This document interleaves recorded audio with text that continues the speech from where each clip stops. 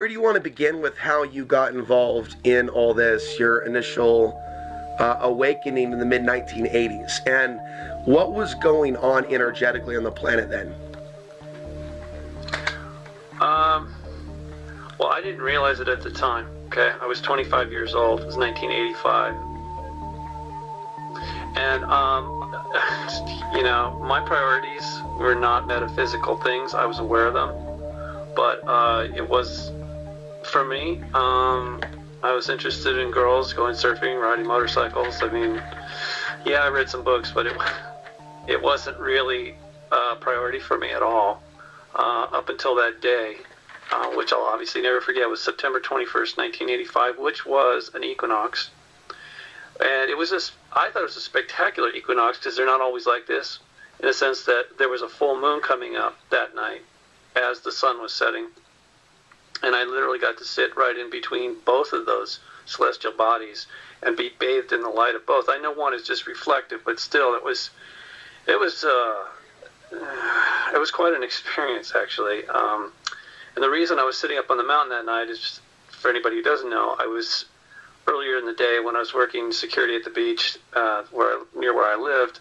in Malibu. Um, uh, there was a boy who had uh, cut himself very severely. He was bleeding to death, and um, I assisted, uh, and uh, paramedics showed up. Fortunately, he, he lived through that, but in the process, I ended up seeing these uh, etheric looking parasites in the room where the event had taken place at one of the private homes there on the beach. And uh, I didn't know these people. I still really don't know who they are. Not that it matters, okay? But um, uh, uh, a lot of those beach homes are rented out. The, I think these particular people were just friends of the owner because um, that's how he was. He was a very friendly um, guy, and he would. I don't think he was renting his place, from what I recall, because I knew everybody down there. I mean, that was my job as security. I was supposed to know who was um, legitimately had access to the private beach, and um, so anyway, yeah, this boy had run face first into a sliding glass door that was closed and uh, shattered it with his face. Uh, and um, I, it's it still freaks me out I, when I think about it. When you're, you know, I have to recall this memory. It's to say it was shocking. I know it was, was horrific for the boy and his grandparents, and I think that's what made it so so horrible for me. Um, uh, because I am empathic, which I don't think that's a special skill. I think that's what normal, healthy people, souls, uh, do, or what they have that ability, right? We all have, allegedly have that ability to connect emotionally to each other. So, right.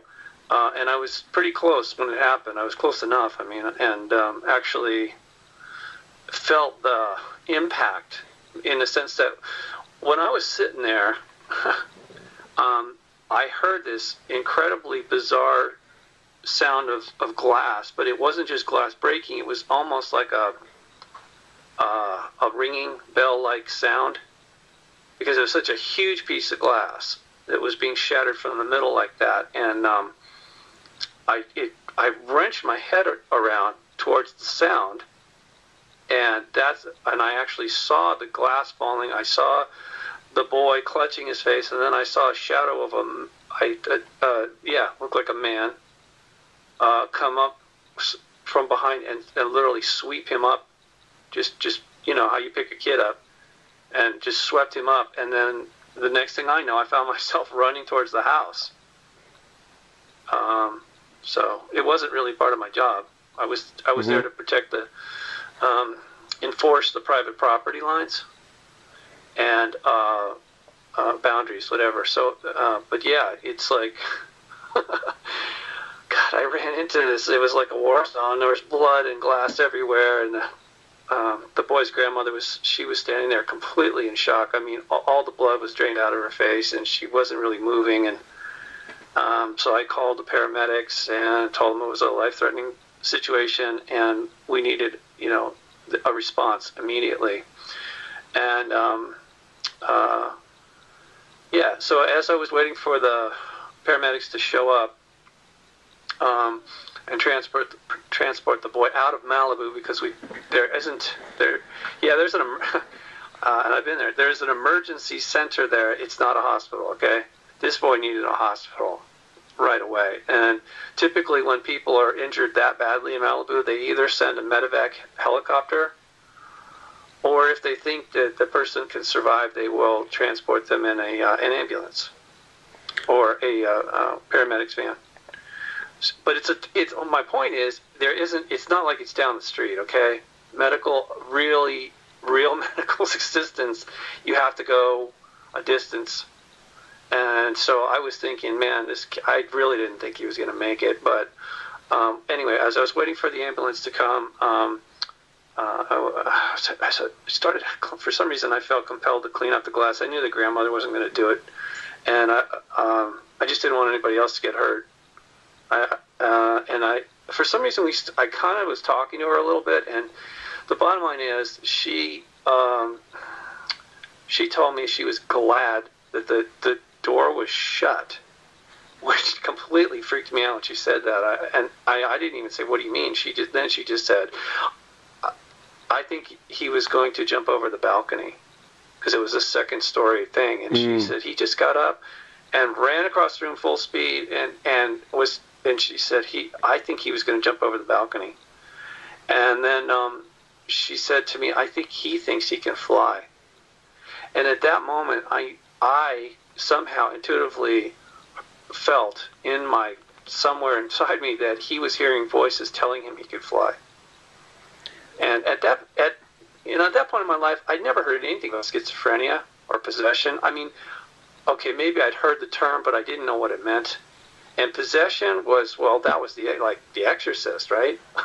that that that wasn't come going through my head at that moment, but I knew something was really weird, wrong. So as I got this impression, the boy was hearing voices. That's when I suddenly saw these. Um, I, I mean, it's weird. I kind of knew they were parasites. That's the only thing that that was the only thing that came into my mind.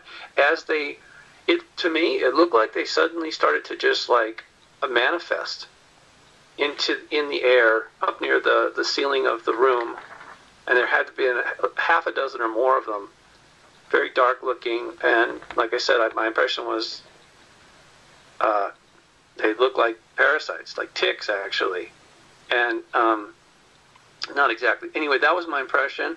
I looked at that for I don't know a second or two, and then it sort of just faded out the way it faded in, and I thought, Jesus, I'm I'm hallucinating. Great, now I'm hallucinating, right? Because I figured the trauma and the blood. You know, some people pass out when they when they in the sight of blood, right? Mm-hmm. And God, there was a lot of it. Um, well, I don't have that problem, but the, I, something was wrong, okay? Because I'd never seen anything like that before, and I just felt like um, I tried to just dismiss it. And after the ambulance came, I went back to where I had like a little security station type. How do I say it? Um, it's where I have my gear for doing my job on the beach. I, I, worked literally on the beach. Okay, it wasn't a security shack. I, I want to make this really clear to people. I had a very unusual job there. Um, but uh, anyway, they left, and um, I went back to work, and but I felt really strange. And again, I was just assuming that it was because of all the trauma. Um, and but it was, I don't know, man. I just something really was wrong, and I it was I felt it in the, my solar plexus. And I and the more it was actually getting worse, not better as time. I just thought, well, you know, gosh, I'm just upset, man. It's going to go away, right? I just got to calm down. And but that that wasn't the case. It was actually getting worse. Um, and I felt like something was draining the energy out of my body, and I started to feel like it's it wanted to kill me, whatever it was. I didn't know. I didn't know what was going on. Okay, I, I, I want people to understand. I had no idea what was going on, and it really took me almost 30 years to figure this out in a, in a way that I feel is uh, coherent or credible. Um, even though I know this is incredible, what I'm saying is completely weird. Okay, what do you think it was about that time period because I remember that time period. I remember um, the New Age movement was getting really big. Definitely not here to attack anyone. We'll get into that later in the interview. Maybe the uh, the masqueraders of the archons come in the form of archangels.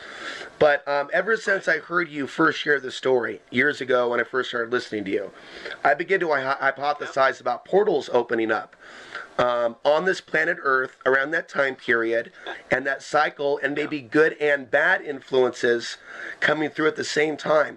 Um, what do you think was going on then? Uh, that's not a bad hypothesis.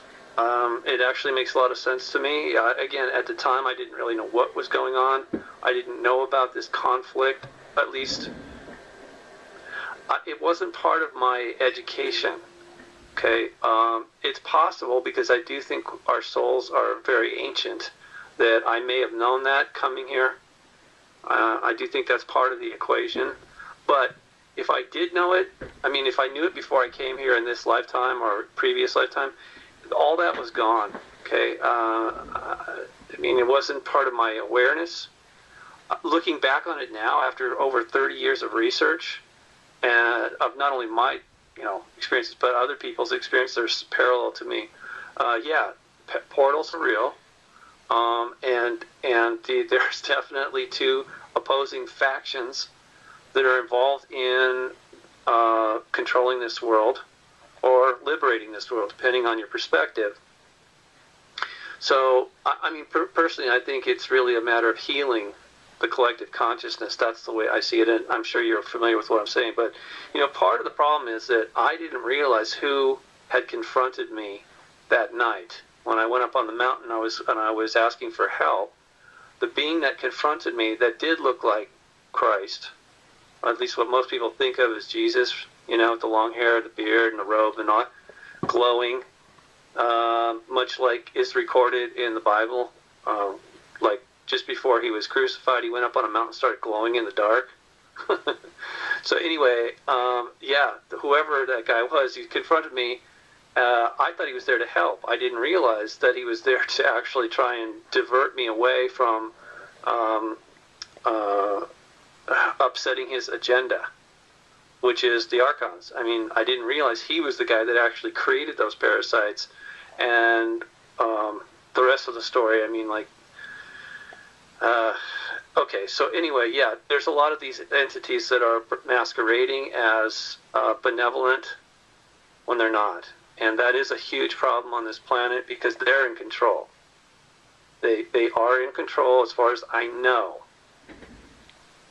and I noticed that the um, uh, the channeling movement really has grown since that time period, or what people believe yeah. is. And I also want to ask, being that you are no longer on the West Coast and I'm no longer on the West Coast, I left Portland, my hometown, because I came to a state of awareness. This is just about a year before I found your interview and the term Archon. But I believe that it became infested, and I was told by someone that did a clearing on me uh-huh. that cybernetic entities were focusing on a small business that I started there after 10 years of okay. Access TV outreach talking about the New World Order.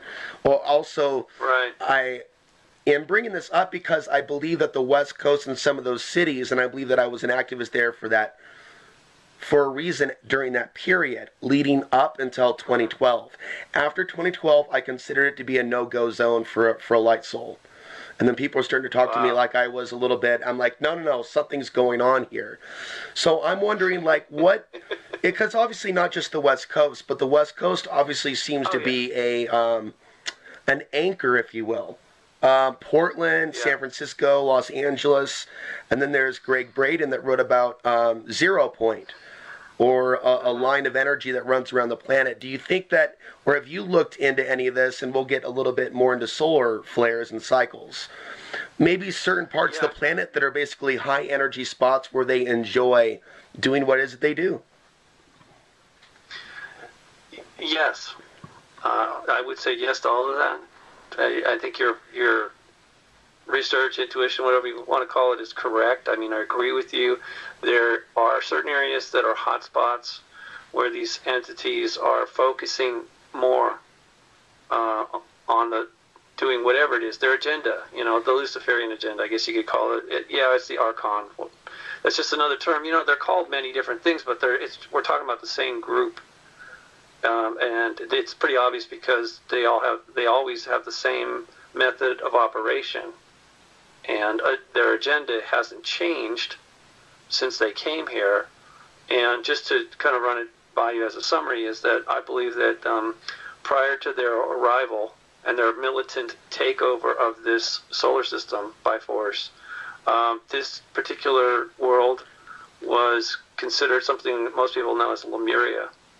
So it was more of a garden paradise up until the time that Lucifer, Enki, whatever you want to call him, when he showed up here and took over, made this part of his empire, started doing all this genetic manipulation. That was the beginning of Atlantis. And uh, I know there's a lot of rumors about what Atlantis was and how it ultimately ended, but the problem is it didn't end. Um, and uh, th- that's that's why America is called the New Atlantis, and um, and it's unfortunate because what that means is that this world is once again a legitimate target. It's it's considered a threat um, because of all the nonsense that's going on here that can be projected beyond this world and this in fact beyond this solar system. Now, with regards to uh, ancient America's theories, is it possible yep. that that's where ancient Lemuria is? potentially, maybe some of these West Coast areas, or is it leaning more towards the old Atlantis? Or um, yeah, what's your take on that? Yeah, uh, as far as I know, Atlantis was on the east coast of the United States. Parts of the west coast were originally part of the Lemurian Empire. Okay. But both of those, and both of those were global. They had some uh, centers, some major capital centers around the planet but the planet has changed a lot since that time. Um, I mean, geographically, geologically, it's different, way different. But certain things remain. You know, it's like there are ancient monuments of Lemuria, I believe, that um, exist in Malibu. At least that's what it looks like to me. I thought that for the longest time. I could be wrong. It may be more recent. It could, for all I know, that could be something that Enki and his crew put together sort of self-aggrandizement. But in any case, there's been a lot of conflict on this planet. It's a really old world, much older than we have been led to believe. Um, but in general, it was originally a paradise planet, a garden. Uh, life, as far as I know, was symbiotic. And up until the time that that all changed, thanks to the war in heavens, um, that uh, uh, Enki started, Lucifer, sorry to keep calling him both names. It's just people. Some people have never heard of Enki. They don't know who he is. So let's go ahead and discuss that. Um, so, an often a, a, frequently asked question because I'm not an expert on archons, but it's, it's, obviously something that I think my soul is here to discuss. And now, I guess yep. evolved to the point where we're no longer afraid because now I'm getting feedback from my audience. Some of it is a little bit fear based, but people are starting to wake up. They're sure they're less in denial. So when you said Enki, something hit a bell kind of within. Um, you know, and we meet weird people and we ask ourselves, gosh, why did I meet that person? Well, I met a guy off grid here in Colorado that said he had a band that was celebrating the return of Enki. Uh-huh. And I thought that's kind of odd. I'm, I'm, like, I'm hoping this is a good thing because I am hoping to meet people that are into the kind of this. And then I saw he was kind of getting on board the demonizing all Muslim stuff. And you know, we'll, we'll kind of get into maybe what's, well, let's just kind of jump into that. Does Enki have a beef with the Iraqis? Does Enki have a beef with the Afghanis? Because you know what? Since I've been born, right, and I've learned about this New World Order thing from people in the alt media that I think have been taken by the archons, certain personalities yeah. out there, where they used to raise questions about, hey, why are we in the Middle East? What happened on 9-11 and see now it's like let's ban them all right? Let's judge them all. Let's yeah. racial profile. Let's let's run around and start talking about white genocide. Ooh we have we have babylonian blood over here mixing with anglo-saxon blood. What are we going to do? And then i'm looking at this growing since 2012 so i'm curious what kind of an energy thing were we going into from the 80s into like the 2000s and then blasting off from 2012 Yes, I heard all the collective consciousness, we're all going to be saved stuff from the hippie chicks. But when I look at the real world, it's looking scarier. It's not looking like a collective shift. And I'm scared, Robert, there's yeah. going to be a genocide in the Middle East or an expansion. So, how does all of oh, this oh, yeah. fit in? Does Enki have an attitude beef with the Middle Eastern people? Does this go back to the ancient creation of mankind? Uh, okay, you're asking a lot of questions. I'll put it to you this way: Enki um, uses divide and conquer to keep us under his control. We are subject, as we're all subjects of his empire. Most people have no idea that, um, and they wouldn't even know him at, at that name. They would just call him Lucifer. It's the same entity. Um, in the Middle East, the Luciferian doctrine has been known for thousands of years, and um, it was the counterpoint to that was uh, Christianity, claiming that Yahweh was the one God and that Lucifer was evil, and I, I don't. I think that was also coming from him. To tell you the truth, it's like he needed to set up, just like you were talking about these uh, it's like perpetual war economy. That's been going on forever. Uh, I mean, as, as, long as he's been here, at least the last couple hundred thousand years, um, his empire is set up like that. The the reason that he um, uh, he he feels that he needs to divide us up is so that we can never be strong enough to confront him or kick him out. And so this is this is one of the reasons he's constantly doing this this number on us. From I mean, he's the one, in my opinion, he created all the religions not just to worship him, but to get us to uh, attack one another. So it's like a double-edged deal. Look, it, it keeps us very militant. Uh, we're producing a lot of energy that they can feed off of.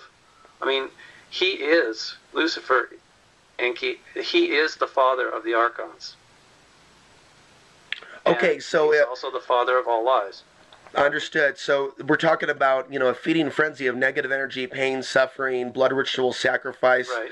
It it right. may not be necessarily super overtly preferences for one particular expression of human or another, because right. we also see periods in which uh, white people are sacrificed, uh, in which um, yeah, he doesn't right. Care. Mm-hmm. I mean, we're all subjects of his empire. He can do whatever. I mean, he considers himself the father of, of man because he created us in a laboratory. But the truth is, he didn't create our DNA, his mother did. And he's just manipulating it. He's lost his ability to create as a God using his purely using his soul energy or consciousness. Uh, that allegedly happened some time ago before he came to this world. He went insane and he suffers from multiple personality disorders and he's that's when he and his crew inadvertently created those mental parasites. They are thought forms. Actually, we're all thought forms in that regard, but those that was completely unintentional on their part, and they end up they ended up um, becoming well. They went from being builders of worlds to destroyers of worlds, and that's that's where the conflict is at this point. You know, it's it's not so much a war as it is is a very difficult situation as far as healing uh, a person's consciousness. Like, for example, not a great example, but um, a person who's a drug addict. You can offer them assistance. You can try and talk sense to them and say, you know, your life would be better if you start shooting heroin. Um, and I'll, you know, help. there's a lot of different help ways that we can help you. But unless that person chooses to get well, it isn't going to happen. You can try all you want, but it's their choice. And that's a really big part of all of this is free will is at play. So um, it's one of the reasons that the Luciferians or the Archons, they're really good at um, uh, tricking us into agreeing to things that are actually very harmful to ourselves. They they presented, I mean, obviously the metaphor is the, the situation with Eve eating the apple and knowing good from good and evil the knowledge of good and evil, right? But it was actually Lucifer, Enki, that, that gave her that. Metaphorically, he was the one that gave us the ability to know evil, because that's what he is. But I define evil as, a, as a, an infection of one's consciousness, uh, a breakdown. It's, it's, it's a form of insanity. and it's not our natural state at all. It's not a healthy state of being, obviously, right? Mm-hmm. And it seems that some of the people that are that are in the media now and, and politics are trying to accentuate that infection. You know, seeing the uh, the of post. Course they are. Right. Because they're rewarded for it. I mean, look, this is the thing. He's in charge here. It's his empire, and if you do something that's going to benefit his agenda, you are rewarded. So you'll keep doing it. And this is why so many people have been compromised. You know, uh, uh, here's the thing. In my second book about uh, UFOs in Washington D.C., it's called Covert Encounters in Washington D.C., and it's all about uh, the how prevalent UFO and extraterrestrial activity is at the nation's capital. Um, and here's the bottom line: that when people go there, even if they have the best of intentions, after they've been inside the magic circle, also known as the Beltway, after they've been there a while, their behavior changes, and they become compromised. And so, whatever they thought they were going to do to affect change, um, they are changed. They are altered. And this is called Potomac fever.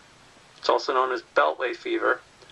Uh, at one month into the Trump administration, the news was reporting that Donald J. Trump had cabin fever and he was suffering headaches and anxiety. I would argue that that is um, incorrect, that he was suffering from, like everybody else that goes there, from what I just described to you. It's called Potomac fever. I know a lot of people like to dismiss it, say, oh, that's just urban legend. Well, they're wrong. And it's only because they haven't done their homework. I, I wasn't even sure why I was being dragged into that investigation by myself. Um, very little support from anybody on that. And I did it for years because I was convinced something huge was going on there, and it wasn't kosher. And um, it took me a while to figure it out. But um, I guess I really needed to understand that it's a microcosm of the bigger problem that is affecting everybody. Absolutely. I really noticed around 2013 and 14 something really shifting on the internet. And uh, I would even say, yeah. since I got involved in 2005 in this alternative media thing, fans becoming dedicated haters and trolls simply because of a refusal, you know, I guess, to get in line. And then I did a series calling out somebody else in alternative media who's the biggest of the biggest as the ultimate Argon, Archon mind hijack, Archon. crossing Archon terminology over into an arena that normally doesn't encompass that.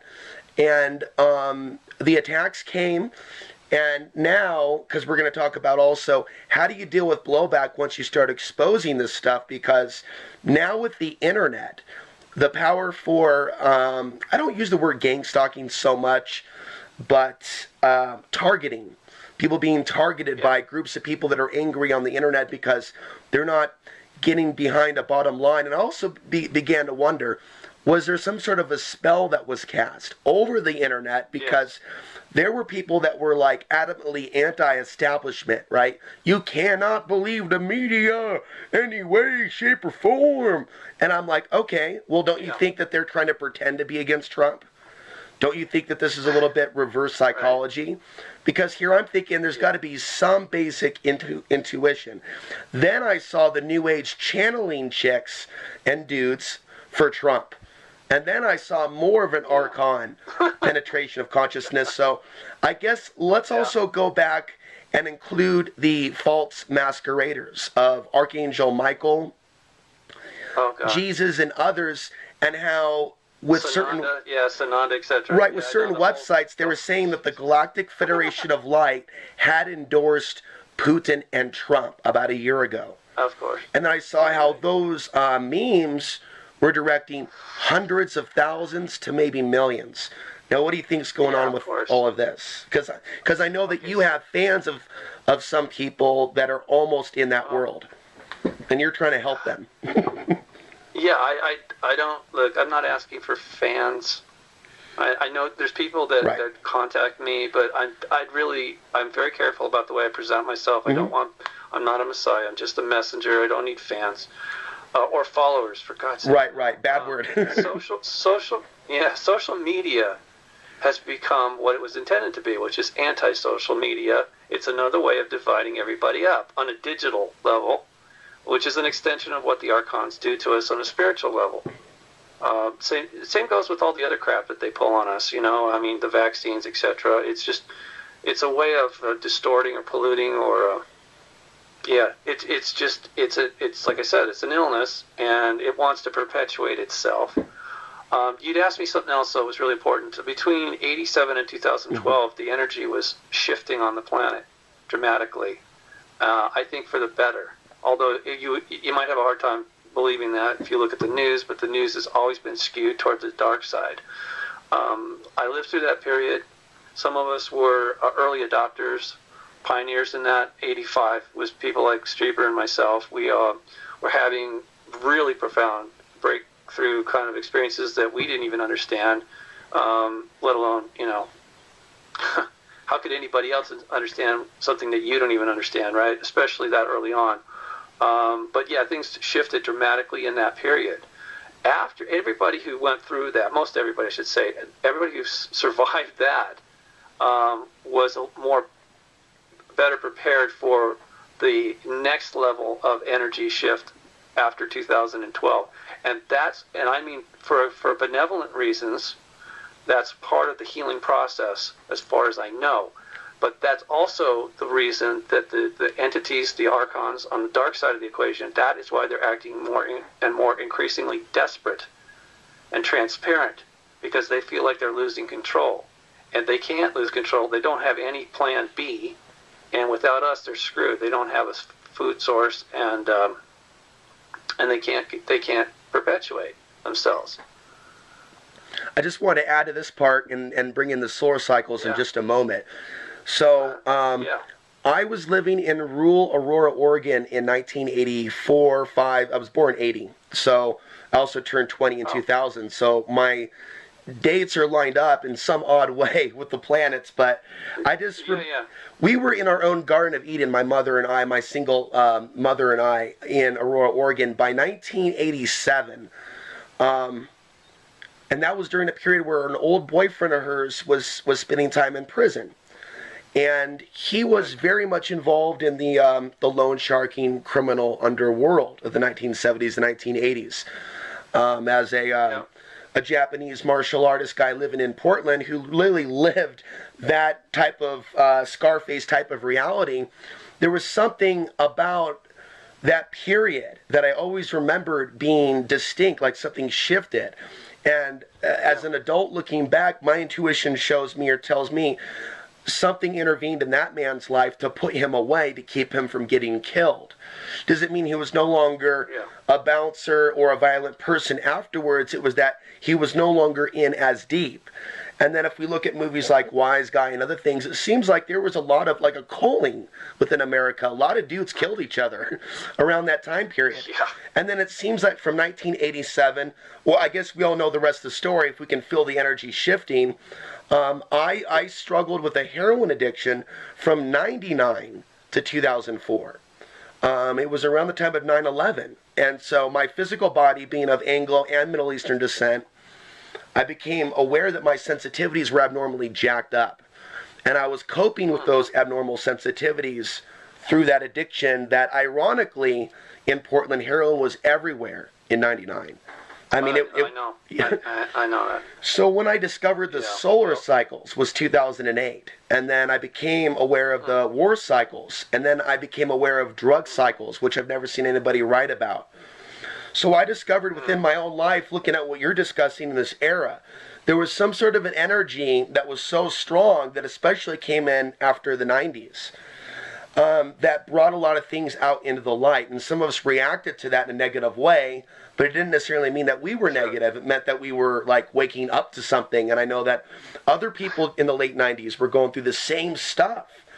So, um, throwing this back in your corner, now looking at the solar, do you see the solar cycles as being very influential uh, with regards to these shifts yeah. in energy? Okay. Yeah, but the thing is, the sun is connected uh, to all of the rest of creation, just like we all are. So that is what's causing these shifts in the energy of the sun. It is a bubble. It's called a heliosphere. It's not just like a little flat disc, right? I want people to understand this. Where we live, we live inside a bubble. It's a big ass bubble, I mean, compared to the Earth, but it's actually very small compared to the rest of the universe. But the point is, we live in a bubble of energy that's coming out of the sun, but the sun is getting, it's connected to all of these other sources, and that's what's driving it. Um, it's not just a nuclear reactor. Um, the other thing is that our entire solar system, the heliosphere, it entered, it is fully inside a large cloud of um, highly charged particles. Metaphysically, people call it the photon zone, the photon band. NASA calls it the fluff. I'm still not sure why they called it that or prefer to call it that, but they what baffles them is that these particles in this cloud of charged particles is so hot, everything should be burning up, but it's not. It's really a conundrum. They don't understand it. They don't talk about it much. They were so panicked uh, for a long time. They were freaking out, thinking they had to do all these weird contingency planning. I, in fact, I think a lot of the underground cities were just for that. For that, they really thought the whole planet was going to just ignite on the surface because of this, and there's no way to stop it, obviously. Um, but we're obviously surviving, and that's why the climates of all the planets have changed fairly recently. It's it's not global warming. It's the whole solar system is inside this uh, cloud of, of energy. Okay, so could it be accurate to say that this uh, electromagnetic energy that's natural comes from the sun, these these particles, this solar rain, this solar plasma, totally natural, even though yep. we're told to be afraid of it, totally natural, and it may really be something that could be boosting this archonic influence, potentially, as well as the sun being something that's totally natural and beautiful. Well, yeah, but it's not just the sun. They, they call these cosmic rays, and they do come from all over there's no way to stop those either. I mean, yeah, the heliosphere protects us to some extent. The magnetosphere of the Earth protects us to some extent. But things like neutrinos are passing through us right now, billions of them, okay, all the time, all the freaking time. You can't stop that either. So the thing about it is that all of this is um, energy, matter, and consciousness are all the same thing. They're waveforms, and they're being they're being generated by souls, as far as I know. That's the model that I prefer to embrace. And it makes more sense to me than anything else. So, uh, a God or a divine godly being will have the ability to send out thought forms or waves that um, that manifest in ways that we would consider to be energy or matter. So this entire universe that we see is the, the creation of one soul. Right. And, in that regard, the reason I'm bringing this up, look, we're all related. See, this is the really screwed up part about this nonsense about fighting uh, so-called different races. There's only mm-hmm. one race, or religion, or finance, whatever. Um, uh, the the truth is that we're all related. We're all family, and nothing's going to change that. But if somebody wants to believe that their neighbor is different than them somehow, then then we've got a problem. We've got a big big problem. And it's it, it, again, it's an infection of one's consciousness. When you when we start believing that um, in the lies that the archons are, are propagating, uh, yeah, we come we fall under the spell.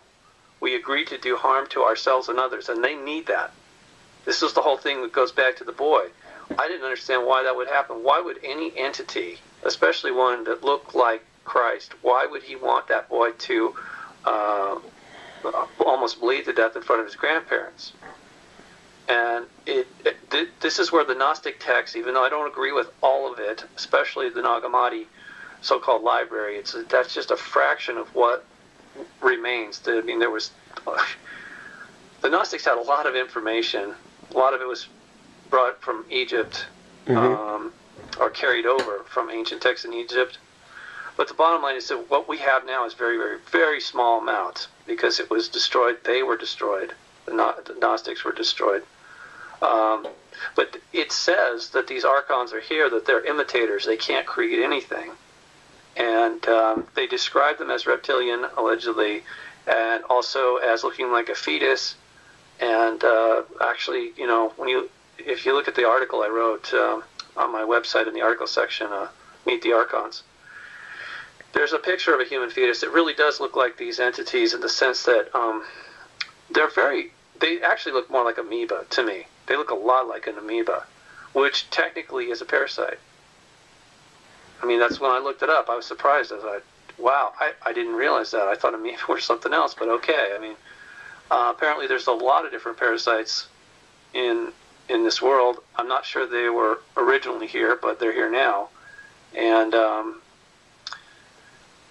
what my understanding is, again, what the my interpretation of what the Gnostics were telling us, and they're not the only ones that knew of these entities, but uh, they do draw energy parasitically from us when we harm ourselves or others mm-hmm. through our DNA. See, our DNA is emitting light all the time, but when we're healthy, it's a it's a healthy light. I mean, actually, it's uh, sorry, DNA receives and emits light. Our bodies are doing that all the time on a very low level.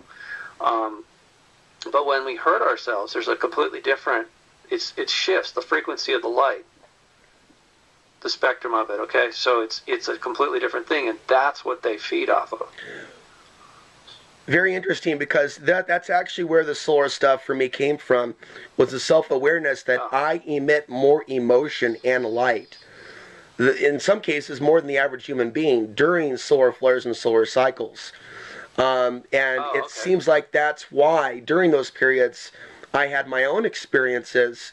I would also notice that drive-by shootings, as, as I become older, I'm going to start documenting this, just like people that came before us. You know, 100 years ago, a Russian documented the solar cycles and the battles in Russia to the solar flares. And that's where I'm starting to wonder if that's something that we can see maybe as a warning sign not to be afraid of the sun, but to realize that's a period because we emit more energy and light and maybe DNA information. That that's a period in oh, which I they see. try to reroute, right? Try to reroute maybe our focus and maybe create these uh, fake revolutions, you know, and fake protests, so we don't go into our true light. Yeah, I get you. I see what you're saying now. That we become more uh, attractive to them as our energy, our light goes well, up. especially in pound us harder. Especially in certain cities, and so certain things that I'm discussing, I'm really summarizing because I spoke for hours before, and I really just want to get some of your thoughts on some of this because I notice in some of the interviews, people ask you really basic, basic entry level stuff, and I think now we're starting to get a little bit more advanced with this. For example, yeah. Eve Lorgen's The Love Bite when I came across her work, and, and then I understood. Now I understand why I'm obsessed with that woman. Now I understand okay. why. Um, you, you know, uh, you talked about the flying dream with a woman. I've had the same experiences, but some of them were spiritual, but almost seemed parasitic. Like, gee, we seem to have a spiritual astral connection. It seems that maybe we're meant to focus on each other. And then I realized that for some reason, when the solar cycle started in 2009 and 10, and I became infatuated with a particular woman, I later figured out what an energy vampire was. And that there was something about my light in 09 and 10 when I was reaching a lot of people in Portland. It was something redirected me through my primal instincts. And it took me leaving Portland and uh, decording with a region that I was born in that was going through energy bombardment during the solar cycle 24. To move off the ley line off grid in Colorado where those energies weren't so concentrated, where there weren't so many humans transmitting, receiving archonic consciousness. And so it was from that perspective in Costilla County, Colorado, that I began to have a different perspective on the whole thing and basically see value in living like a monk for a little bit, not having so much. So I think that's that's also why I'm off the grid now. I'm trying to make sense out of certain things, and I think that men in particular can get really trapped to this archonic world if they don't realize that if they leave their lust unchecked, they could be totally rerouted into an archon world and chasing temporary uh, things. Yeah. And so I, I, feel like I'm having this learning curve, I guess, or soul learning curve on how the archons can control us, men and women, through sexuality. Yeah. And how sexuality Absolutely. itself is so um, transitory, changing. Um, Uh, in a state of militarized, you mean- morphine. Yeah. It's it's also yeah, it's been militarized just like immigration has been militarized and so many other things. And the reason that this is being done to us is, as you obviously can see, it helps them control us, but it's also um, hurting us in a direction that serves their agenda, which is they need us to be agitated so that they can feed, but they also want to keep us at a level of uh, militant uh, society so that we'll accept. Um, in other words, there has to be a rationalization for every new weapon system that we create to use on our alleged enemies or perceived enemies. Because all that is is preparation for us to ultimately leave this planet or being permitted to leave under false pretenses to ultimately go out there and do exactly what Enki wants us to do. Just like under Atlantis. And that's why this planet was wiped out um, at some point because we were incredibly dangerous to other planets, and um, and it's not because we're barbaric or primitive. It's because we're being managed to go in that direction. I mean, this is the whole thing about people talk about this a lot, and a lot of it is complete nonsense if you ask me. But buzzwords like uh, secret space program and super soldiers, okay, that that's it's very uh, chic right now to talk about it, but it's it's really sinister, and it all goes back to Enki um, and his agenda. So the Nazis or the German secret societies got sucked into that.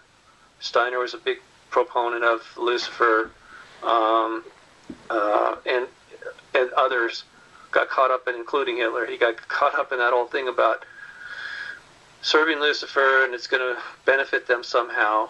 And obviously, that didn't work out too well. But they were granted a lot of technology that became part of our infrastructure, and that includes genetics. Obviously, eugenics is something that Nazis were doing, but actually, it started in America. So, as I told you, America is, according to Sir Francis Bacon, uh, America's the new Atlantis, meaning it was being rebuilt. Yeah, reestablished. It's not a good thing because it was it was never Atlantis was never a good thing. It was very militant. Uh, they were doing a lot of genetic uh, manipulation. It's, it wasn't even experiments. These this is you know we talk about super soldiers. That that was common during the days of Atlantis, and it's far more common now than people realize. But it's not. Most of the people that discuss this have no idea why it's going on. They just call it breakaway civilization as bullshit. It's, it's the same old story recycled over and over and over again for the same reason. This conflict is not over. And, you know, the funny thing is, or I should say it's ironic, the Luciferians are the ones that are doing all the fighting. They're doing all the destruction. The benevolent ones, the divine beings, uh, they don't work like that.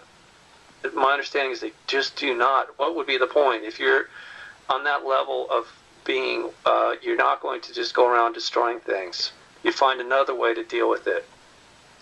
So this is one of the reasons why they're increasing the energy gradually here to help us uh, heal our consciousness. And it's not an easy task, obviously. And I think there is a, there has to be a limit to this.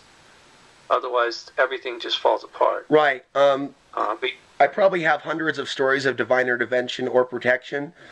uh, pro- probably like dozens that I know of, but then there's the others that I don't. Yeah. So without sounding super Yeah. religious, it could be hypothesized that behind the scenes, the aeons are watching some of us with priority, possibly, if we're playing a major critical role.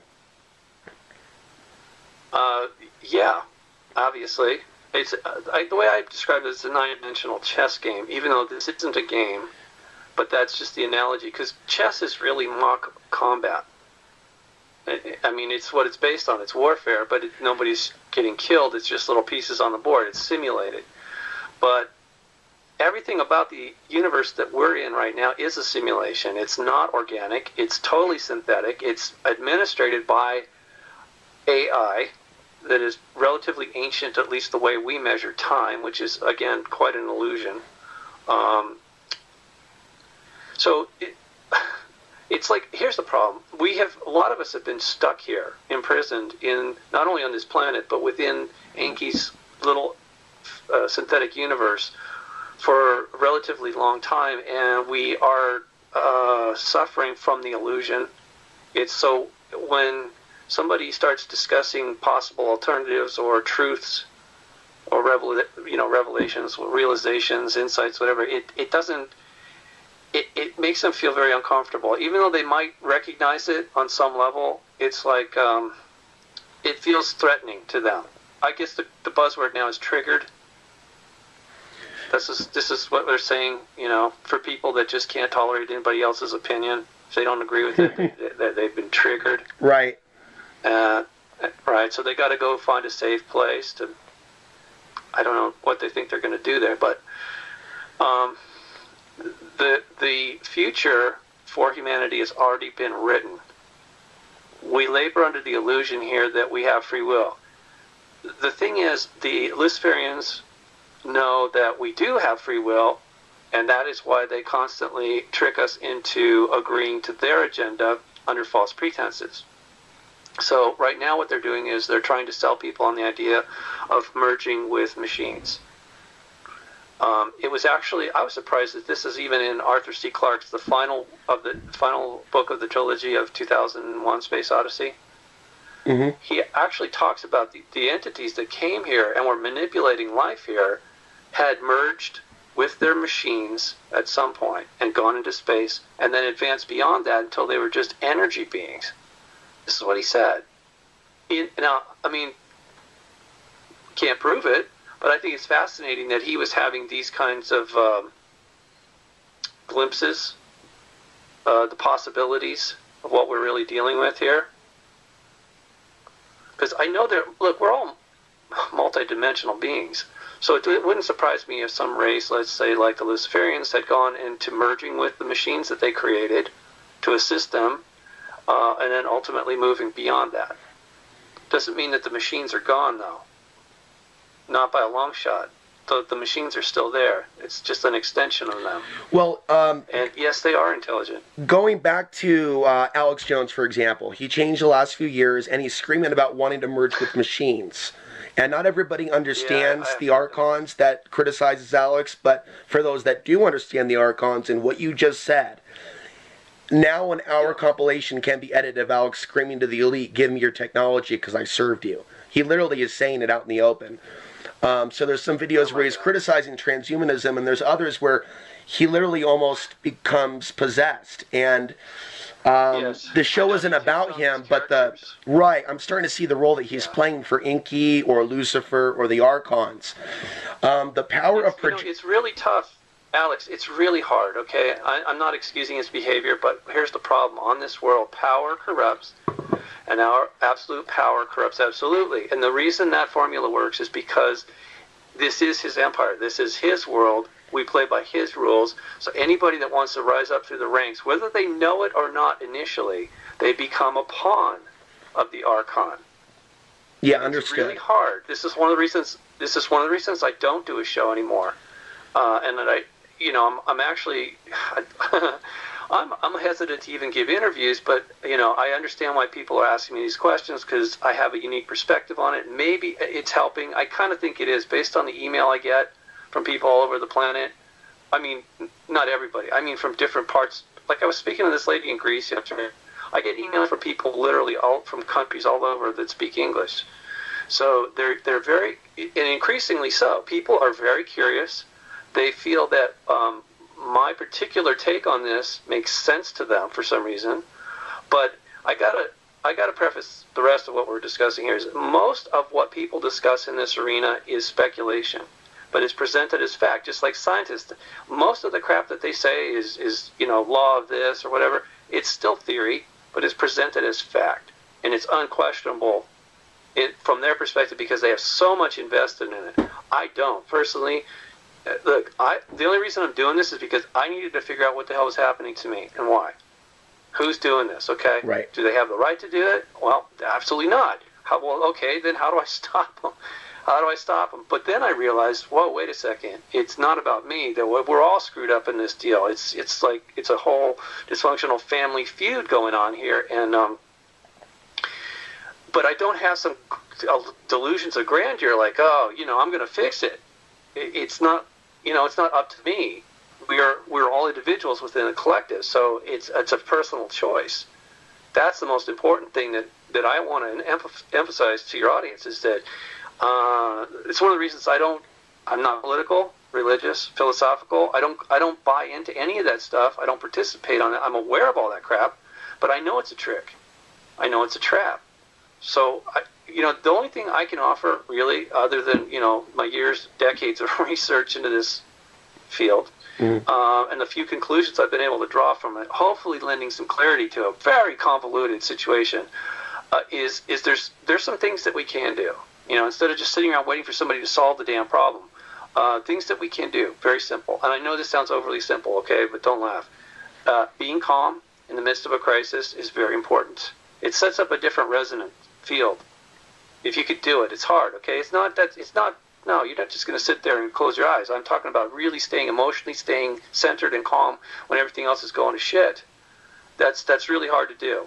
Being kind, especially when other people are being cruel, very difficult to do. Very, very. And I'm not saying turn the other cheek. If you have to, you sometimes you have to defend yourself or others. But I'm saying uh, maintaining a good, kind, emotional state in the midst of, of cruelty is really important. A lot of people are losing that. Third thing is being creative. I don't care if you just draw doodles. It, that that that is actually very it's an essential part of who we are because mm-hmm. we are defined in the sense that look we were created by a creator to be creative when we when we deny that part of ourselves it atrophies and we're right now we're at a very immature state, but we have the ability. We do have the potential. Just like a seed comes off a tree, right? Like you know, at, at some point, if it if it finds the right soil, nutrients, it's going to become a tree itself, right? Well, that's what I see us as. Okay, and this is what our our level of creativity now is completely distorted. It's all screwed up. But we, we have the potential to, to literally be divine, godly creators as well uh, right? We were created in the image of. What, what does that mean, right? God's an artist. Why aren't you? Um, okay, so um, the fourth thing, and I feel, and I, this is kind of new, but I think it's most important, is being connected. Because I see us as seeds of light. We are all, our souls, actually, to me, I've got a picture of a, a graphic I created up on my website. It's at the bottom of most every page. Uh, Castaneda called it an, a luminous egg he borrowed that phrase. But anyway, I see us as seeds of light in a garden. Uh, that it, it, all the all the life in the garden is connected through a web of light. So I, I'm pretty sure this is what scientists are hinting at when they say entanglement, but it's really not. I mean, it, that's a terrible term, but that's what they call it. Uh, the reason I'm mentioning it is because just like the internet, look, a computer is is pretty. It so to can do some stuff, but when you connect it to the internet, wow, now you've got millions and billions of computers connected to each other and then share consciousness, etc. So I communicate, and that's the difference. See, most of us are not connected to the real cosmos or the, the universe or the omniverse, multiverse, whatever you want to call it. I don't. I really don't think there's only one. I think there's an infinite number of universes. There's, you know, that's just the way it is to me. Um, we only live in one, but it's connected to all the others. So, but our problem here is we're living inside this fake universe that uh, Lucifer Enki created, and and where it's very difficult to connect to the actual, the real thing uh, when we're stuck here. And they don't want us to do that, by the way. They've got firewalls up all over the place. So, how you do that is very, very much a personal thing. Okay, there's a lot of different avenues that you can reconnect to the cosmos. First, you have to know that you're disconnected, and then you have to make a choice. It's like, okay, uh, who's going to be my service provider? How am I going to get there? If you want to use religion, fine. I don't, but I mean, there's, uh, wow, how do I say this? There isn't one path, mm-hmm. but they all lead to the same place. It's there's many paths, and they all lead to the same place. That, I guess that's a better way to say it.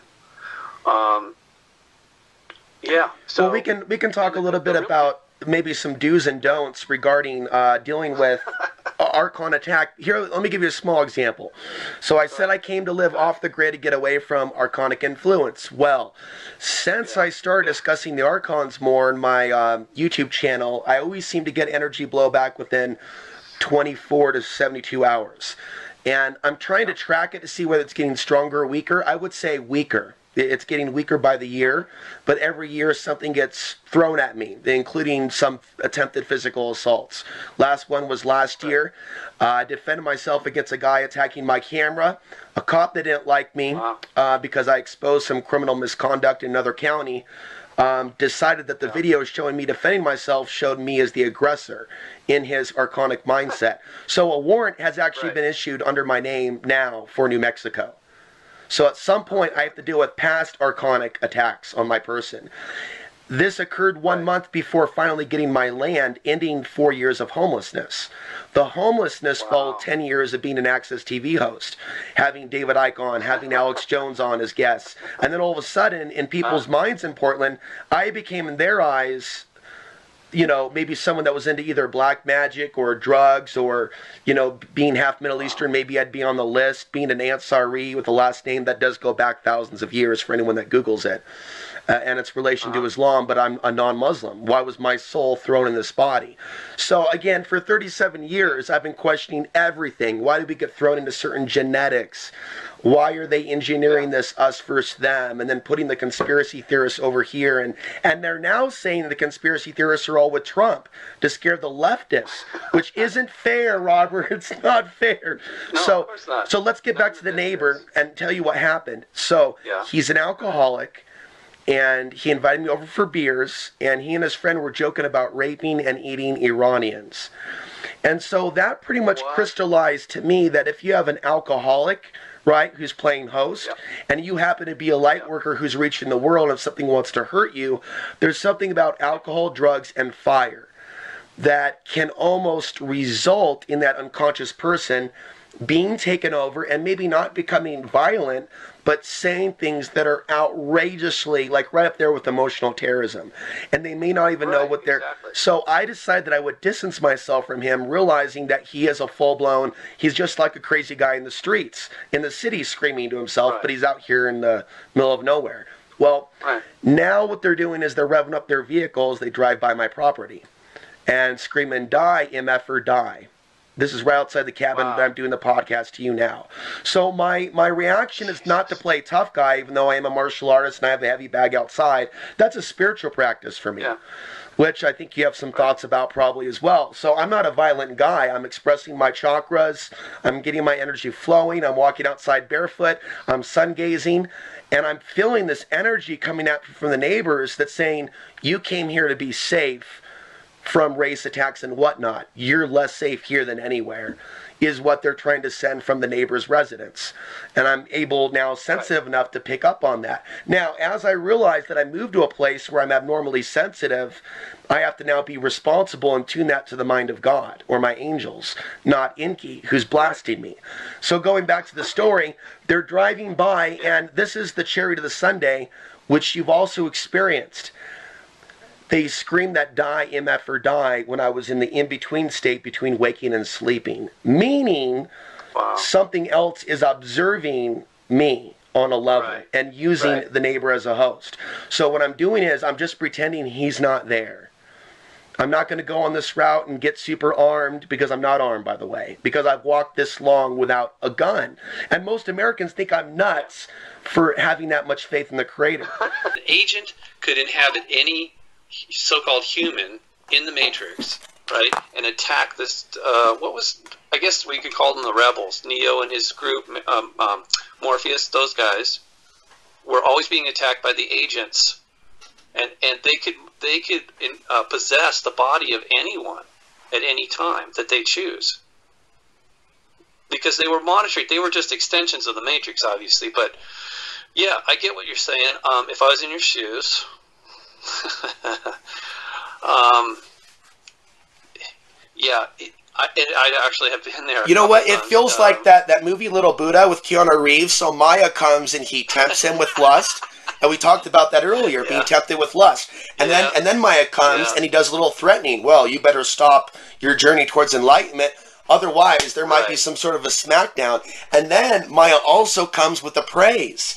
And sometimes I get really bizarre, Yeah. overwhelming praise from some fanatics that will also turn into trolls on me a month later if they see a Right. video they don't like. They'll go from fanatics to outrageous praise to attack. So I stay away from super praise folks too. because that extreme energy can can flip. So from praise, There's lust, and fear, Maya comes with it seems Maya, the demiurge Yeah, well- Enki. Right. The Buddha, Siddhartha, what he said was the balance. You must be in balance. The, but here's the catch balance is always found between two extremes. How do you stay centered when others around you have none? It's not going to be found on TV or the internet, okay? Okay. because it's a choice. It's you. It's your soul. The center of your soul is still. And if you can see that light, if you can be that light here and now, they're not going to touch you. Something will happen. They will absolutely freak out. I've seen it happen before. see, because if they, if you, what I've done, and I've made this mistake. If we take any kind of um, what they perceive as hostile action towards them, then that gives them, leg- they think, legitimacy to attack you on any and every level. It's happened to me. It's happened to me when I'm, look, I'm not very smart. When, I, I mean, let's put it this way: I'm not stupid, but sometimes I'm, sometimes I'm very slow to get things, even if it's very obvious. Um, and that's why you know I've suffered like everybody else here on some level. I'm a, you know, but I survived it. I am a survivor, hmm as most of us are. Okay, those of us who consider themselves to be victims are choosing to be unempowered, and they often want to, in fact, always want to blame others. People that are survivors are empowered. They self-empower. They want to empower others. It's the complete opposite. Just being a survivor, Alex, doesn't mean you need to attack even if you're being attacked. Okay, it's it's like it's like pouring gasoline on a fire. That's what they want. That's exactly what they want, and that's why I mentioned to you earlier. The, the four things that I mentioned actually is like the water that you pour on on their fire because you this is your choice. You're doing it internally, so they're trying to burn you. They're trying to literally burn you up. It's like you know when somebody's really pissed off, they got fire shooting out their ears and stuff. They're so hot under the collar. But these, if you, even if you can only do one of them, it's better if you can do all four. But I mean, look, this takes effort because we've been so programmed to be pissed off all the time and confused and distracted, etc. Um, whatever you can do of those four things, if you can do all, all four, even better. But the more you do practice those things, calm, kind, creative, connected, um, though that it, it insulates you. It, it has a, a very positive, infectious uh, affect on people around you that are, are seeking, you know, that. Obviously, people that are completely infected are not going to be, they're not going to come to your side or that level, but they will, it, but it makes them very uncomfortable. And they, they just don't want to be around it. They, see, this is the thing about these things, that they're very cowardly not only do they have to hide from us because they know that once we figure out that they're he- they really are here and what they're doing to us, they know for a fact that we will unite against them, or even individually will take action against them. Okay. Okay, I, I just want to add that on the creative of us. on the creative Sorry? part, all that escalated once Yep. my friend visited and painted beautiful trees on the 10 by 12 cabin. So I'm noticing, and, and then there's there's some spiritual stuff saying, "Thank you, Father, give us our daily bread" or something. Ever since the spiritual text literally went on the cabin that I'm sitting in, then it started. Yeah. So um, you're basically validating what I thought, and this is probably helping other Uh. people that we need to just pretty much maintain the course, not let us box us into reacting violent behavior and, and, and things of that nature. It's basically what they feed on. It's what they depend on, Yep. and they really want to distract us from our path. If we, we might really be ascending on some level, because I've literally one more story, and then we'll go to the next. One time I was meditating in Portland, and a homeless guy all of a sudden became possessed by Agent Smith and started smirking at me and yelling all these things because the sunlight was connecting with my aura. And at that time, I was home free, living in my vehicle, but I was still doing podcasts and holding the frequency. So this is just validating more and more that whatever path I'm on, they really want to throw me out of it and, and get me into some sort of fight or flight mode.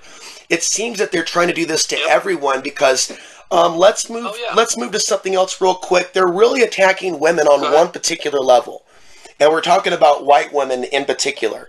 Any white woman that doesn't um, stay strictly with what's perceived to be her own race is enemy number one right now on our planet. And John Lash has helped with that. And I have to say that why I will not listen to his podcasts. I listened to John Lash and Red Ice Creation beat up on the mixed race humans three years ago in their white genocide episode. And I listened for any key words for John Lash to talk about millions of dead Afghanis. Some of these people changed consciousness around 2012. They, they've taken conspiracy theories and they've gone uber dark with it and they inverted it on its head. Well, what is your interpretation of what's going on? Because I'm sure millions of women are in terror right now for their babies and course. considering abortion, which might only feed the Archon system more. And I see like oh, women Oh, yeah. in the spiritual communities here in America that talk about Archons that won't touch this with a 10 foot pole. I've seen some of them get behind the meme that you know people should stick with. And so, Yeah. what's going on, Robert? Is this like a, a not a very good sign? Um, well, here's the thing about an illness is it usually like a fever has to go to a, a very high level before it breaks. And I do think we're going to get to a very dark, a much darker place before this thing actually collapses. And th- that's not a bad thing. Okay. I mean, yeah, a lot of people are going to get hurt. and It's going to seem traumatic, etc. But it's the only way to get beyond the illness, as far as I can tell. Now, you mentioned George Soros um, he went to the London School of Economics. One of his classmates is a guy named Zecharia Sitchin, who's deceased now. Mm-hmm. Um, they, yeah. So Sitchin's work is pro Enki, right? If you've read it, you know. I've, Um, something has, has led me to stay away from it for some reason, along with other Okay. authors and Well, speakers. so I'm curious why. Yeah. Well, yeah, it's because it's all PR for Enki. And the, the reason I mention these guys is because both of them, having graduated from the London School of Economics, are beholden to the Rothschild dynasty, which is an extension of Enki's empire in modern times. And this is why they do social engineering. They feel it's their divine right. This is their world. This is their empire. They can do whatever they want. We're just subjects of the empire. So, but uh, the thing is that they convince us to do these things under false pretenses. It's really obvious that they know how to manipulate us expertly. So you could say it's mind control, or it's a spell, or you've been enchanted, uh, whatever you want to call it. But it's it's all the same thing: sorcery, sophistry. Um, But if Enki wants to create a disturbance on the planet, he can use his propaganda to and and right to say like, okay, so let's start mixing these types of humans, white and African American, to upset those other aspects of the viewing audience. You know, it's like if someone's going to be attracted to someone, just let it happen naturally. Why engage in in propaganda to try to divide everybody? And then when the men go MGTOW or single, then they're all upset, willing to vote for Donald Trump and more wars because they haven't been laid in five years. yeah, well, Uh, just using that as an example because I see if they can destabilize male-female relationships and, and, and kind of create this, of course, you know, of course. box, they, bro- they yeah. broke up. Yes, it's all about destabilizing the nuclear family, which they did. Uh, and there is no sovereignty anywhere for anyone, even the people of the so-called old world order or whatever this new thing they're trying to do. It's all the same thing. They they constantly change the names. The, from a Middle Eastern perspective, or specifically Islamic, these entities are called the jinn, and and everybody is born with at least one of them assigned to them. So it's not like anybody's immune to this. It's it would be really extraordinary, and even if somebody is somehow free of them, uh, as you were just talking about, um, they're going to that person is then going to be targeted by other humans who are not free or who are are infected, possessed, whatever, uh, puppets of these entities. So it's a it's a really big issue, um, and you know I here's the thing though I know a lot of more people have are aware of this now than ever because I only first started talking about it in late 2011. I, I wrote my first article um, and it I got to discuss it on uh, Coast to Coast, and it reached a lot of people. But then, of course, they were distracted, and it sort of faded out. So since that time, I've off and on, you know, I've had a chance to discuss this more with people, and of course, my thinking or awareness has has changed somewhat um, uh, about it. So, and you know, I, it's not like I don't want to talk about it. I just don't want to say the same thing over and over again too often because it seems a little redundant. And um, I, I do want to help people, though. That's why I'm foolish enough to answer all my email, unlike some people in the media, alternative media. Um, nonetheless, we don't. I mean, I, I, get this from some people write to me and like, well, I tried to get uh, in contact with this person, but they never responded. Well, okay, they're too busy, or what? I don't know. I want to comment a little on that. Um, so you mentioned you do a little bit less interviews. I stopped doing regular interviews several years ago. You're the first person that I've contacted in several months oh, to years. Thanks. And I decided several months ago okay. you were the person that I was going to have on, and that the other people that I've mentioned, there. I enjoy some of the young up and coming YouTubers that are just starting out, but as far as the speakers, sure. I, have tuned most of them uh-huh. out. I, I, enjoy having David Icke on uh, like 12 years ago, and that was a sign that I was on yeah. the right path that he even talked to me. Plus, I went down and physically yeah. met Alex Jones and others the my, I was obviously destined to get close to some of these guys and then get away from them and realize that we're not meant to be one big happy family that's too collectivist. We're we're individual um, I almost see us, us as like fractions of a soul that have like almost broken fractured and returned down to earth to do the great work.